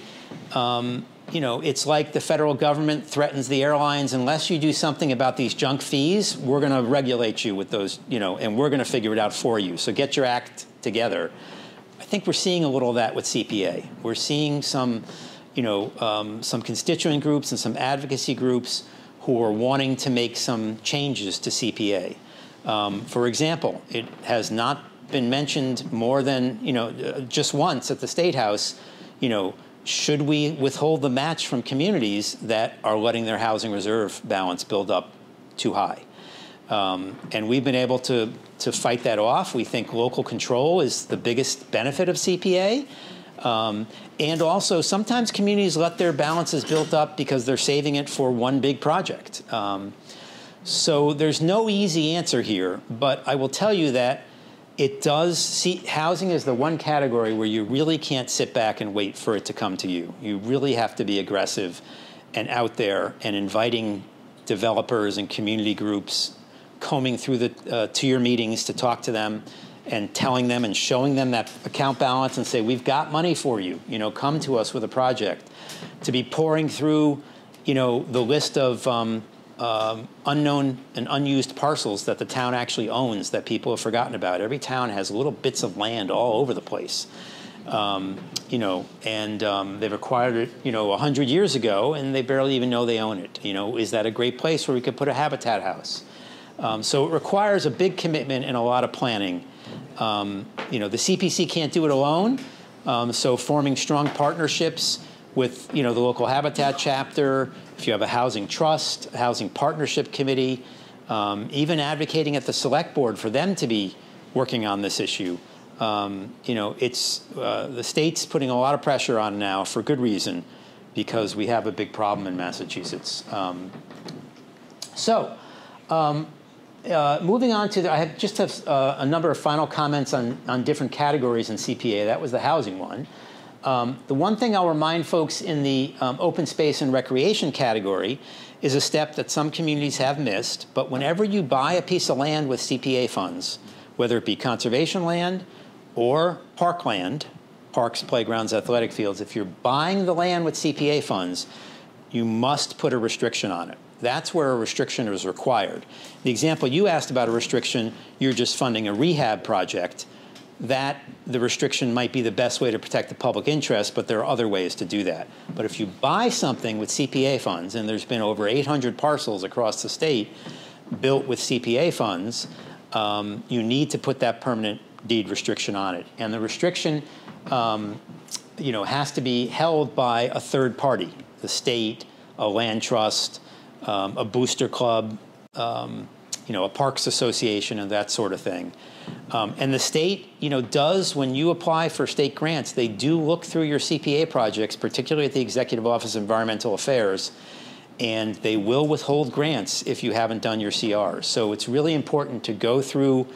You know, a lot of you haven't been on the CPA since the beginning, but there might have been a purchase in 2004, you know, that just fell between the cracks, and you definitely want to research that and make sure that all the parcels you bought with CPA funds in the recreation and open space category, you won't see too many historic parcels being uh, bought with CPA funds, and towns don't usually buy, you know, uh, municipal housing either. Um, it's mostly these two categories. Any questions on that? So you said the restriction has to be held by a third party? Yes. Um, it's called the common law doctrine of merger. So when you buy a piece of land, what you're buying is the fee ownership in the land, and then you're also buying the right to do whatever you want with that land, right? So when you buy a piece of conservation land, usually the town wants to own the fee. They want to own the land, right? Um, but it also, CPA requires it to be protected as conservation land forever. And if the Conservation Commission owned that restriction that protected the land forever, and the selectmen started using it to temporarily dump all the highway dirt for the project, the CONSCOM holder of the restriction is not going to sue the select board. You know, a town can't sue itself. Oh, Um, yeah, well, in most cases. Um, you know, most, most towns, a board doesn't have ability to access um, a legal counsel unless the selectmen approve it, in most cases. Um, so you might be able to find someone, you know, pro bono. I know conscoms have sued their towns before, but because those two those two rights merge, the right to develop it and watch over the development and the right to own the land, you have to have separate ownership of those two. So the town owns the land, and then a land trust owns the restriction. The restriction is an actual document that says what can happen on that land, and the land trust holds the town's feet to the fire to make sure that they're doing it appropriately. the land trust then be buying the, to that? You, it can be done that way. Um, most In other words, times, Giving up one of the two parts. correct, but you have to do it, and the land trust knows you have to do it.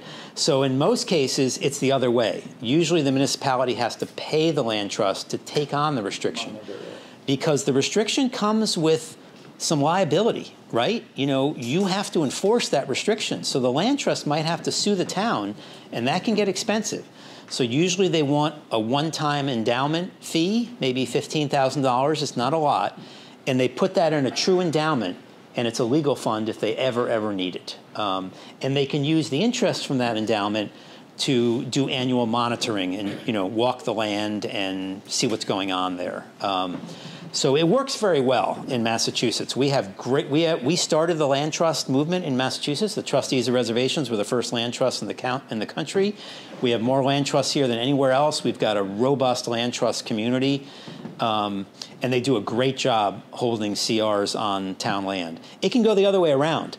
The land trust can own the land, and the town can own the CR. And about 25% of the time, it happens that way too. So. Um, this is a requirement of CPA that the land be protected forever, um, and it has to be a separate organization to watch over what the town does. So, all right. Um, moving on to the outdoor recreation category. It is for outdoor recreation, so that's a question we get sometimes. You can't build an indoor playground. It says no structures, no uh, stadiums, gymnasiums, or similar structures. So it's land as close as possible to its natural state, open land. Um, little tiny structures are okay if they directly support the outdoor use. So a bathroom, you know, you really need a bathroom to support the outdoor use, or a storage shed, maybe a snack shop for the little league. But large structures are not allowable with CPA funds. Um, so we're talking about recreational land. There's a definition, you know, community gardens, trails, parks, playgrounds, athletic fields, tennis courts, basketball courts, pickleball courts. Um, ultimate frisbee. What are those things called? Were you frisbee? Uh, frisbee golf. Uh, disc golf. Thank you. Um, pickleball courts are the hottest one. Who's done pickleball courts here with CPA funds? Springfield. You're about to. Okay. Great. Um, so um, the restrictions are, as I said, no stadiums, no no indoor facilities. We haven't had many lawsuits in CPA. The Acton religious lawsuit was one. Uh, the Norwell sidewalk lawsuit was another. Um, the Wayland and Weston um, artificial turf um, lawsuits and North Andover actually is the biggest one. Are the other? There haven't been many. A little bit. What's that? Can we go into the artificial? turf? Sure. Let's start with this one. Um, Norwell wanted to use CPA funds for sidewalks, um, and they were sued by their citizens, and the court agreed with the citizens. Sidewalks are primarily a transportation asset to get from point A to point B. They're within the dedicated transportation right away. As soon as the town needs to widen that road, um, you know, or add another lane, bye bye sidewalk. Um, so um, it's a transportation asset. It does have a use recreationally, but it's a secondary use to transportation, and you can't use CPA funds on, on sidewalks. Um, unless the sidewalks are inside of a park, that would be fine, or inside of an affordable housing development that you're building from scratch. Um, There's a caveat. Yeah, If yeah. you read the law, yes. it's, uh, what if it was created prior to 2011? Well, that actually doesn't really apply because no one's going to apply new for a project from before 2011. So, So if the project was installed and completed by 2011, and now it needs a new you, you can't do it. You can't do it. The, the 2011 thing was an amendment for one project in Nantucket. Um, it was they had approved it at town meeting, and then the CPA law changed in 2012, which didn't allow allowable u- turf, but they had already got it approved by town meeting, and so they filed um, a home rule petition to say that their project was okay, and it should have been okay. It was approved before the law changed. For some reason, the legislature, instead of doing it as a home rule petition, put it in the full CPA legislation. Because I was reading that. yeah, it makes no sense for anyone else other than that, that project. But what happened was, um, remember I said 2012 we made some changes to the recreation category to expand it and give more flexibility, particularly to cities. Um, and um, at the hearing for that bill, unexpectedly, um, the anti-turf um, advocates came out and completely dominated the hearing because they feared that when CPA funds were going to be able to be used to fix up ball fields, um, that every ball field that's grass would be converted to turf in the Commonwealth. And turf is controversial. You line up 50 Harvard educated scientists, they'll tell you turf is the greatest thing, it's environmentally safe, there's no um, greenhouse gases from the mowers. Um, you know, there's no watering and using of water, and you line up 50 Yale-educated scientists, and they'll tell you it's the worst thing ever. Um, it, you know, it uh, has heat effect, it causes cancer, and the jury's still out, um, and it's very controversial. The legislature does not like controversy, um, and so that delayed the bill, that hearing, uh, in the in the fall in the spring of 2006 uh, seven, delayed the bill for an entire year and a compromise was reached. Um, and the compromise said that CPA funds can't be used to buy the artificial turf surface, but it could be used for other aspects of the project. So that was the compromise. Now, I will tell you that there was very recently a lawsuit in North Andover over this, and the court did decide that um, they interpreted that phrase in CPA to prohibit any CPA funds from any part of the project, not just the surface. And I think that amendment, that bargain was a little naive. It was back in the day when we were thinking of turf as the carpet that rolled out. You remember the AstroTurf? And it was just, you couldn't buy the carpet. But now these are all multi-layer, you know, they're really complicated surfaces with many layers, and it really doesn't make sense to say it can't be used for the turf surface because there really is no turf surface anymore. It's the, all these layers. So this is a developing area. Now, unlike the Acton lawsuit, that one was a Superior Court um, decision, so it is binding only on North Andover. It didn't go completely to the SJC and become binding on everybody. Did I do that right, Steve? Yeah. Okay. More, more or less. More or less, yeah. But it, but it might have some precedential effect. It definitely does. Um, So so, it says on the fields, so we have a lacrosse wall, and basically it's not a field, it's just a, a little practice wall that you bounce the ball off of. I think you'd be fine. Okay. Yeah, and, and uh, my town wanted to put artificial turf under a playground, you know, a small little area, because it's a nice soft surface. Um, that's okay. It does really, it's really designed for the huge spanses of artificial turf on, on fields. It does say fields in the legislation, so we take it at face value there. Um, all right, uh, last topic tonight, um, which um, is near and dear to Wilbraham's heart, um, which is when you do recreational projects and you're asked to fund them, CPA is really for dedicated recreation land. It is not for landscaping in front of the town library or putting benches on the lawn in front of the town library. Um, it's for land that is permanently dedicated to recreation. And it can be hard to figure out what land is permanently dedicated to recreation. Sometimes you have to go back. You know, if it has a conservation restriction on it, then you know it's clearly dedicated recreation land. Um, if it's under control of the Parks Department, you can be sure it's protected recreation land too, but a lot of towns don't have parks department. You know, in our town, it's the DPW that takes care of our fields, but they also take care of our town hall um, and our parking lots and our roads. So what's dedicated and what's not. Um, the really the most the best way is if you can go back and research when it was purchased and see if it was purchased for recreational purposes, because that's a common phrase in a lot of CPA legislation. Um, uh, or if it was for conservation land, it would say conservation purposes. But sometimes you're going back 110 years and researching a deed that's handwritten. It's very hard to find this information. Um, town meeting or the, the city council also has to vote to accept even gifts of land or to buy land. So there will always be a corresponding town meeting vote or city council vote to actually buy the land. And very often, if they're doing it right, they're specifying the purpose for which it's being acquired, for a, for a new school, for general municipal use as a dump, you know, for recreational use, for conservation purposes. Um, that's the most rock solid way. The, the deeds often don't specify it, um, but the but the vote of the legislative body very often does specify. Are you gonna get into Article ninety-seven at? Well, these things all describe land. Uh, do we have specifically? No. Um, these things all describe land that is covered by something called Article 97. Um, there's a couple of. how many towns are aware of Article ninety-seven here in the room? Maybe there weren't. Yeah, it's I not don't that. Yeah. Um, See, so. this, this floors me. Yeah, it's unbelievable. This is so critical. Every town CPA needs to know. Yes, we're getting the word out. Um, it's an evolving area, and the state just passed a law to strengthen Article 97 two years ago. So it's really evolving now.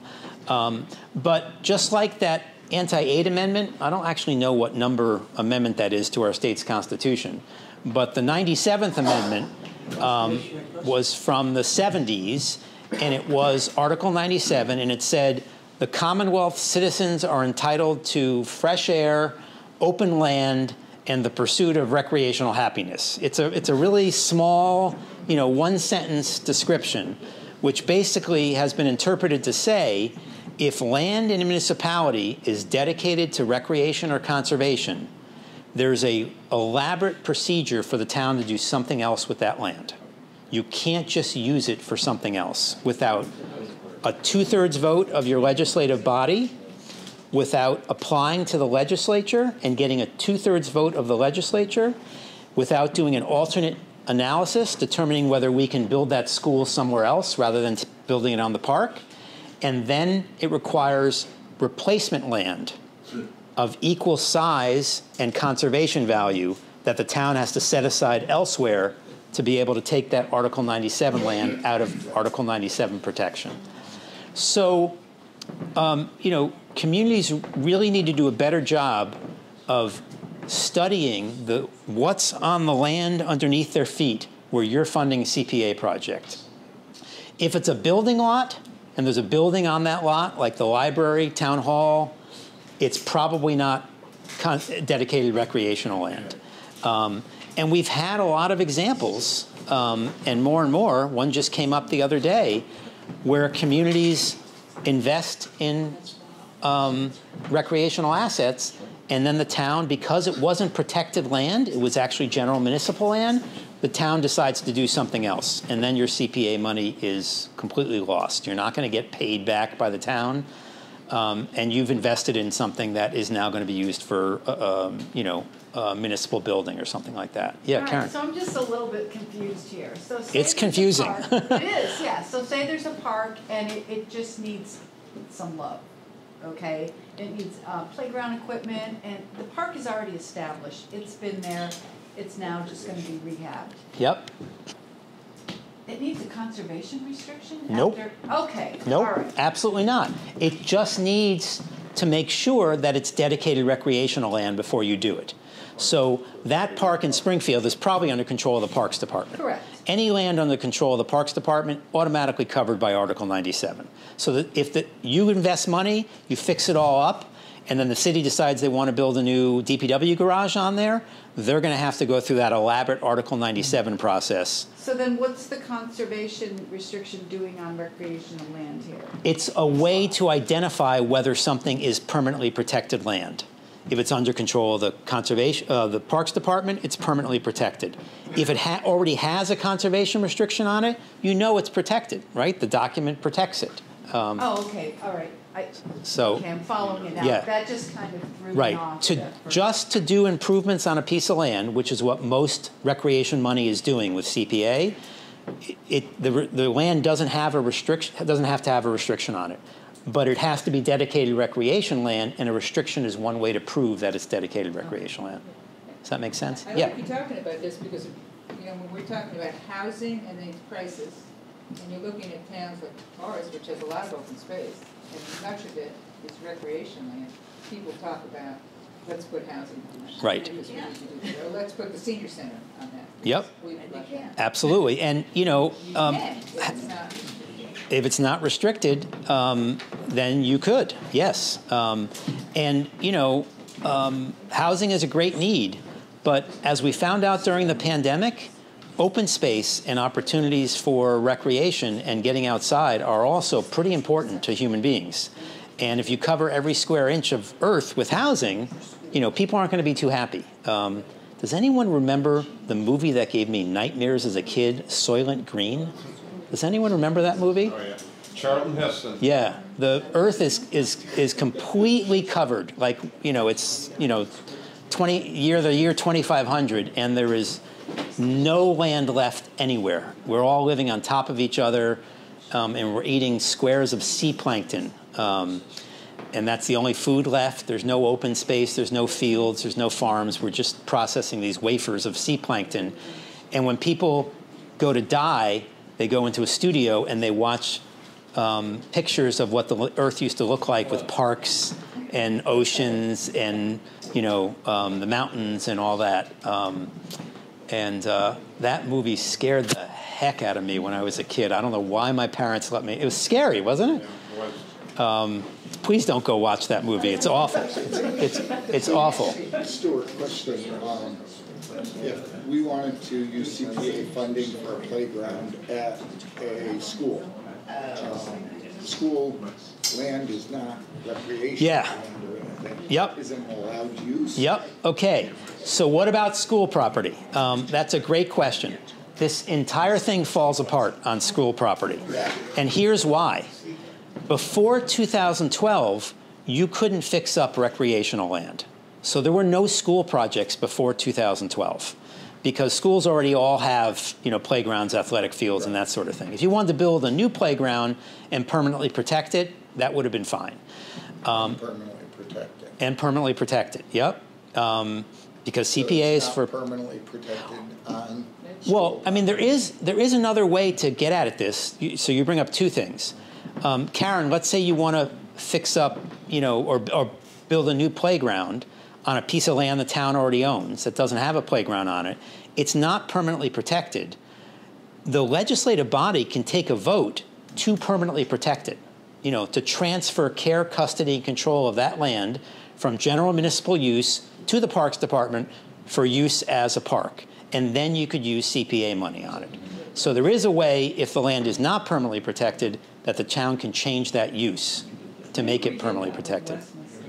Sometimes it's combined to transfer care, custody, control, and to appropriate $250,000 of CPA money to build the park. Um, school property, because, well, let me answer his question first. Okay.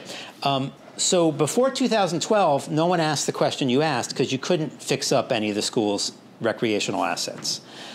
The legislature changed the law in 2012 to allow communities to fix up recreational assets uh, on dedicated recreational land.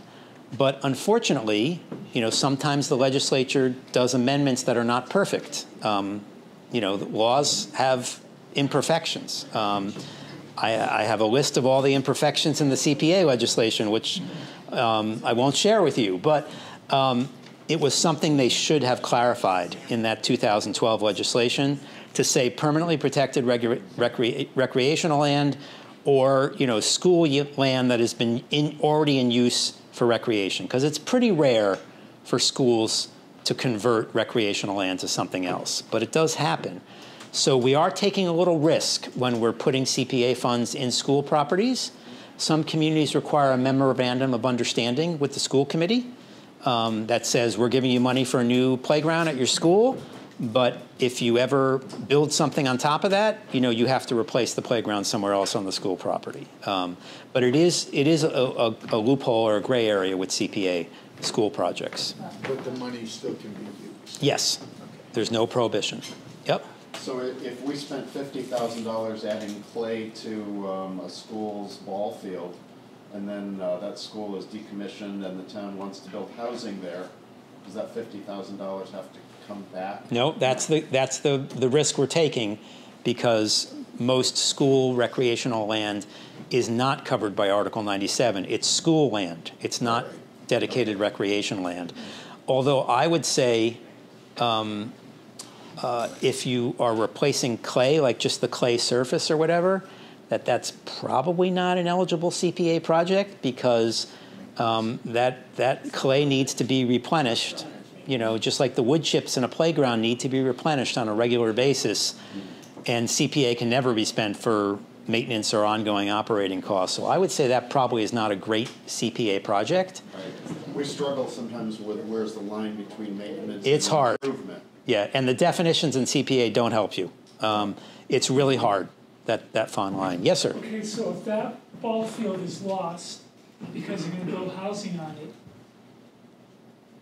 does the town then owe the town another ball field? No, because it's school. It's he's he's using an example of it on school property.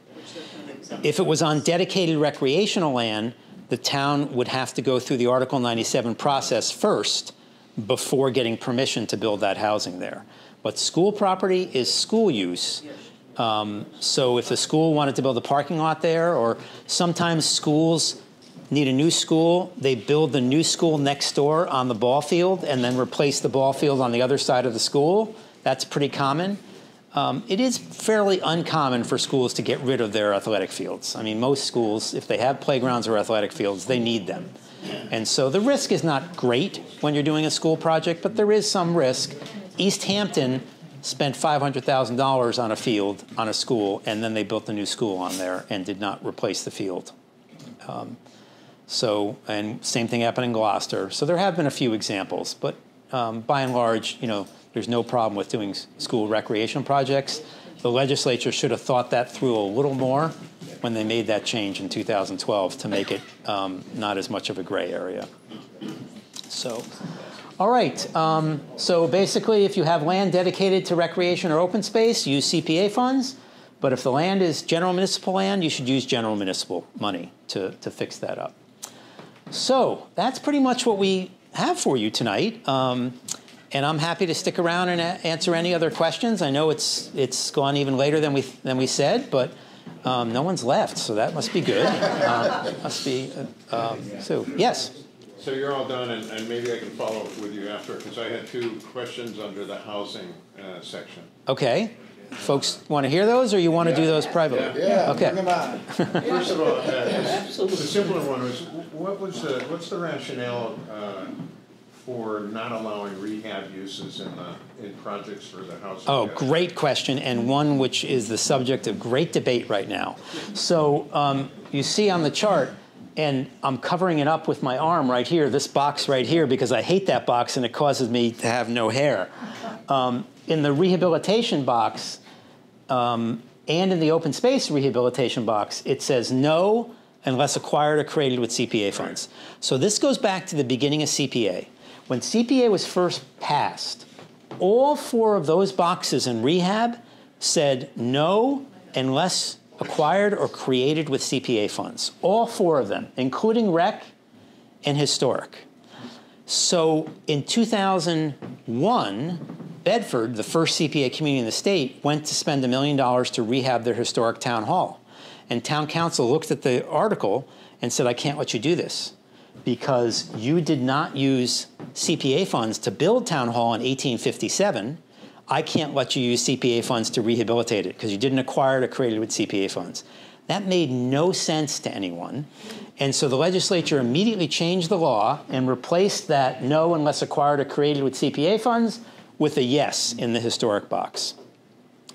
The reason why, um, I should have told you this before I go on because I'm going to explain how we got the yes in the rec next. The reason why there was a no in every box was a woman named Barbara Anderson. Does everyone, anyone remember Barbara Anderson? Citizens for Limited Taxation was a very powerful anti-tax group um, in the 70s and 80s that got Proposition Two and a Half passed. They're the ones that got it done, and Barbara was a wrecking ball, a, a force of nature on on on Prop Two and a Half. Prop Two and a Half passes in 1980.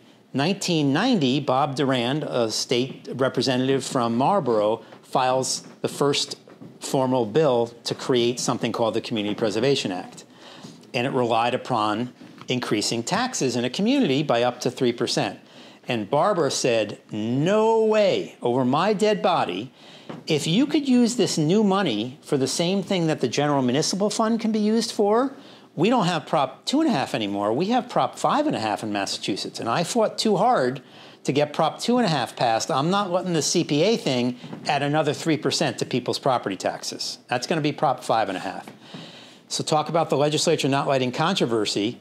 10 years it takes to pass CPA to get around this prohibition. And the way they got around it was to promise Barbara that, and Citizens for Limited Taxation, and the legislatures who, you know, believed in, in that, that CPA would be for new things that aren't commonly in the town budget. Buying, you know, buying land for new conservation land. No town has a line item in the budget to got conservation land. Most towns don't have line items in their budget for affordable housing construction. Um, most towns don't take care of their historic buildings; they let them rot. Um, and so the bargain was CPA will be for new stuff, but whatever you already own, you have to take care of under Prop two and a half. You have to figure out a way to get it into your regular budget, and the budget can't rise by more than two and a half percent every year. So it made no sense in the historic category, right? How did that get through the legislature? You know, the, the historic category is all about fixing up buildings that are historic the town already owned. How did they not see that when they passed the legislation? How could they have allowed it to pass saying no unless acquired or created with CPA funds? Who acquired or created a historic building with CPA funds when CPA was brand new? Here's what I think happened. I think the fix was in. Um, I think the legislature decided in the back room, anyone seen Hamilton, the room where it happened? I think the legislature decided in the room where it happened, let's give this win to Barbara and get this thing passed, and we'll put the no in every category, and then we'll go back and fix it next year, and we'll change it, and we'll allow it in the historic category. Um, because, you know, it was the first amendment to CPA, and it happened nine months after CPA was passed. Uh, Marian Walsh was the state senator who filed that. So I can't, I can't, there's no legislative history records in Massachusetts. We're terrible about transparency on our legislative action in Massachusetts. Um, I think we got the worst ranking in the, in the country from some, um, uh, uh, a group about uh, the Sunlight Group, I think it's called, um, that ranks transparency in, in legislative actions. Um, uh, you know, the good news is um, we might not have a very transparent legislature, but we have an unbelievably effective legislator compared to the rest of the country and, and the way things are done. It's incredible how, how well Massachusetts is run as a, as a state. But, anyways, um, in this case, um, that was changed right away. Um, fast forward to 2007, Newton is sued for appropriating funds to fix up an existing park. And the citizens sued them, and they said, look, it says you can't rehabilitate a park unless you acquired or created it with CPA funds. You did not acquire or create Stearns and Pellegrini Park with CPA funds. And the town lost, the city lost the lawsuit. And that started a real hue and cry among all the CPA communities. Look, we want to do what Newton wanted to do. Um, and in that case, we had the data to show the legislature that the recreation category was not happening the way they wanted it to. Who's going to buy land for new soccer fields under acquire or build new soccer fields when you have 15 dilapidated soccer fields and there's no money to fix them up? You're going to just ignore those and build a brand new one? So there was a real push among CPA communities. They said, look, we want to we want to fix this legislation and um, allow rehab of existing parks, playgrounds, and athletic fields. And so it took five years to convince the legislature. And in 2012, that big change that I talked about was to replace in that box no unless acquired or created with CPA funds with just yes in all cases. Um, so that's how that came to be. Now, the two categories that still say no are conservation land and housing. I'm finally getting back to your question. Um, but now you know why they're there, right? They were there from the very beginning in all categories. So they weren't changed. They, weren't just never changed. got fixed or whatever. Right. Now, The open space one should not be fixed. You don't, municipalities should not be mucking around on their conservation land. The whole reason it's protected conservation land is you don't want to do anything on it. So you don't want to give communities money to do something on it. See, I Um, disagree with that. okay, um, but that's the, what the legislature thought. So Um, conservation land doesn't mean uh, unusable, you don't do anything. I mean, a lot of times you have to do uh, harvesting, tree harvesting and stuff like that. And you can do some limited things, like a beaver deceiver to protect the whole thing from flooding. Yep. You could do that in the preservation box. That's protecting the land from injury, harm, or destruction. Trail construction, that's actually a recreation project. You can create new trails or you can rehabilitate the trails. So you can do certain things, but you don't want to give carte blanche to communities Exactly. in that category. It's very difficult. The housing category. Why is there a no in the housing category? And the reason is very simple. The legislature wanted to, CP is a very modest funding source. It can't do everything, and that's why it can't, you know, it has these verbs. It can't do everything in each of these four categories. There wouldn't be enough money. The legislature wanted to focus on the biggest problem in the Commonwealth, which is the lack of affordable units. We're over 200,000 units shy of what we need in the Commonwealth, and they saw that back in 2000 and they did not want CPA funds to be used to fix up housing authority properties. They wanted it concentrated on production. Housing authority properties are actually all owned by the state. They might be in your town and they might be run by your housing authority, but your housing authority in your town is actually a state agency. Um, and the state has done a terrible job of funding rehab of their housing authority units. There's 43,000 units, and they're mostly in Is this gonna bad shape. It is going to change because today, is today Wednesday? Yep. Today, the House passed the housing bond bill that the governor had proposed back in January.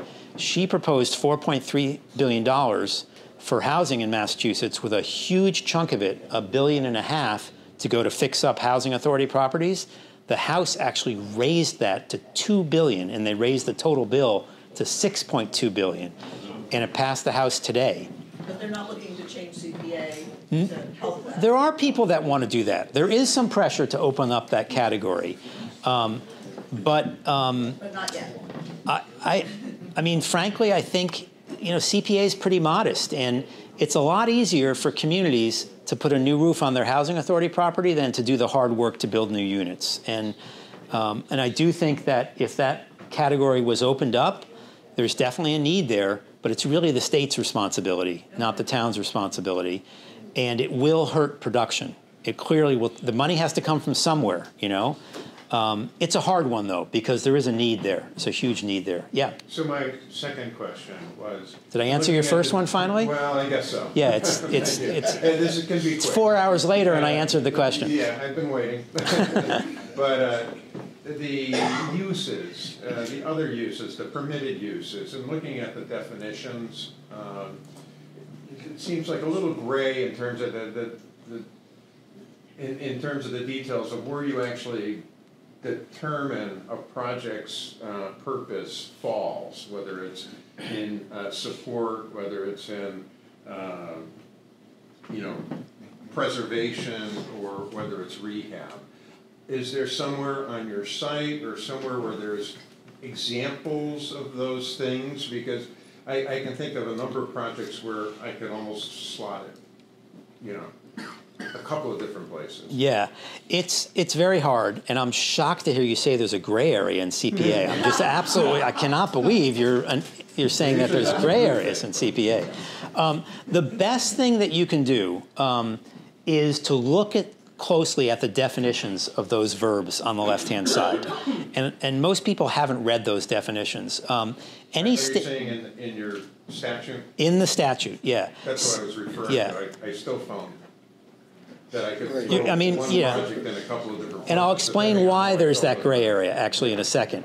Um, but every state law has a definition section, usually up at the top. It's very often section two of the law. Section one says what the law does, and section two is the definitions. CPA has definitions in section two. It's where the rubber meets the road on most pieces of legislation. So, you know, I could say I want, you know, I'd love for everyone to read all 17 pages of the law. Don't do it late at night, you fall asleep. But if you read anything, read the definitions because each of those words, except for create, has a definition, and they are helpful. They're not perfect. And here's why they're not perfect. Section 17 of CPA says the Department of Revenue has the right to promulgate regulations on CPA. The way most state laws work is the legislature passes a broad state law. They can't possibly put in a state law every little nuance of the program. And then they give the right to a state agency to write the regulations to affect that law. And writing regulations is a very, uh, it's a process, you know.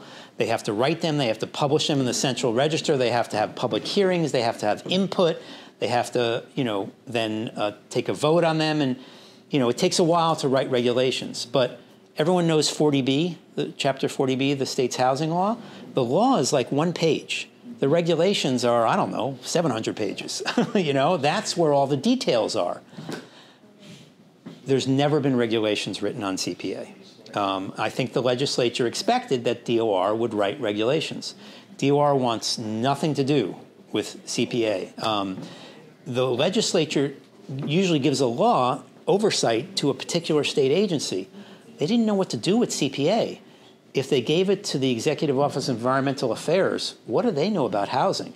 If they gave it to Secretary Galvin's office, who does historic preservation, what does he know about recreation?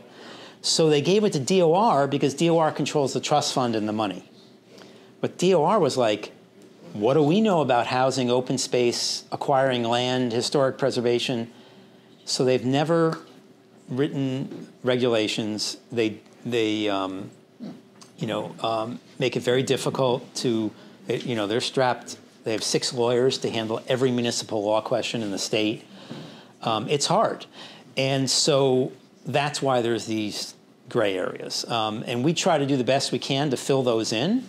Um, but um, you know, there's a couple of us, and you know, 196 communities. It's it's difficult, and there are no regulations to go by. Um, but you know, it's not a total curse that there's no regulations. It's a blessing and a curse. And um, it's a blessing because CPA is flexible and you can use it to really get at your local needs. Um, and it's also a curse because it leaves you scratching your head trying to figure out whether something's right and getting yelled at by someone when you, you make the wrong decision. So it's hard. Yeah, Bob. How are other CPA communities handling this new housing concept of wealth building with the issue of permanent affordability? Um, I don't know the answer to that question, Bob. Um, and, and you're talking about someone, you know, obviously someone of lower income that finally gets to own a home. You know, you there, want there, that. There, there are these programs, including funded by the state, where significant government money goes into building a house, selling it to an income eligible person, and after 15 years, who's ever the lucky income eligible person to be living in that house, the income restriction of, of ownership disappears. So it's affordable for 15 years. Right. And I'm just curious how other communities handle it. We got we had a proposal before us that we said we, if our money went in, we wanted 30 years. And our own local housing folks were not happy and convinced us that we should go along with all of the other funders who were only requiring 15 Right. years. So um, that is a local decision, right, as to how long the restrictions will go for. 15 years is pretty short. I don't know of too many communities that do it that little. Um, you know, 30 years or permanent is much more common. Um, but it's up to you folks. And the problem with CPA is, the problem with housing in general is, there are seven, you know, every housing developer has to package in 17 different funding sources and programs to get the money to do their project. And each of those programs wants to have their own goals fulfilled and has their own rules, right? So in your case, if you had you know stuck to your guns on 30 years, they probably could not have accepted your money because your piece was much smaller than all the other pieces. Um, and so you did the right thing by going along with it. Um, and uh, and that's usually what happens. But usually you don't see the pressure to do 15 years. Um, I mean, permanent is the preferred solution these days. I think the state learned its lesson when they first started doing affordable housing, um, and there were a lot of 30-year deed restrictions. And now every year we're losing 5,000 units. You know, while we're trying to build more new units, but we're losing 5,000. Um, some communities use CPA funds when they hit the term limit on the restrictions to buy down the restrictions again. And Amherst was about to lose 200 and some odd units at Rolling Ridge of affordability because the 30 year restrictions were coming due and the developer was going to throw everyone out, rehab the building, and um, make it market rate. And um, the, the city of, uh, town of Amherst, Economic Development Department found a developer, Beacon Communities, who agreed to buy the building if Amherst would put in a million and a quarter dollars to help them make it affordable again. And uh, Beacon invested in the community, in the building, bought the building. CPA money helped fix up some of the things they needed, and um, give uh, um, Beacon a chance to buy that building and rebuy down all the restrictions. So that's a great use of CPA funds when you're about to lose um, units. Um, but that's a tough one. You know, that's one of the difficult things about the housing category. So, all right. Well, thank you all very much. I hope this was helpful. Happy to stay um, a little longer and answer private.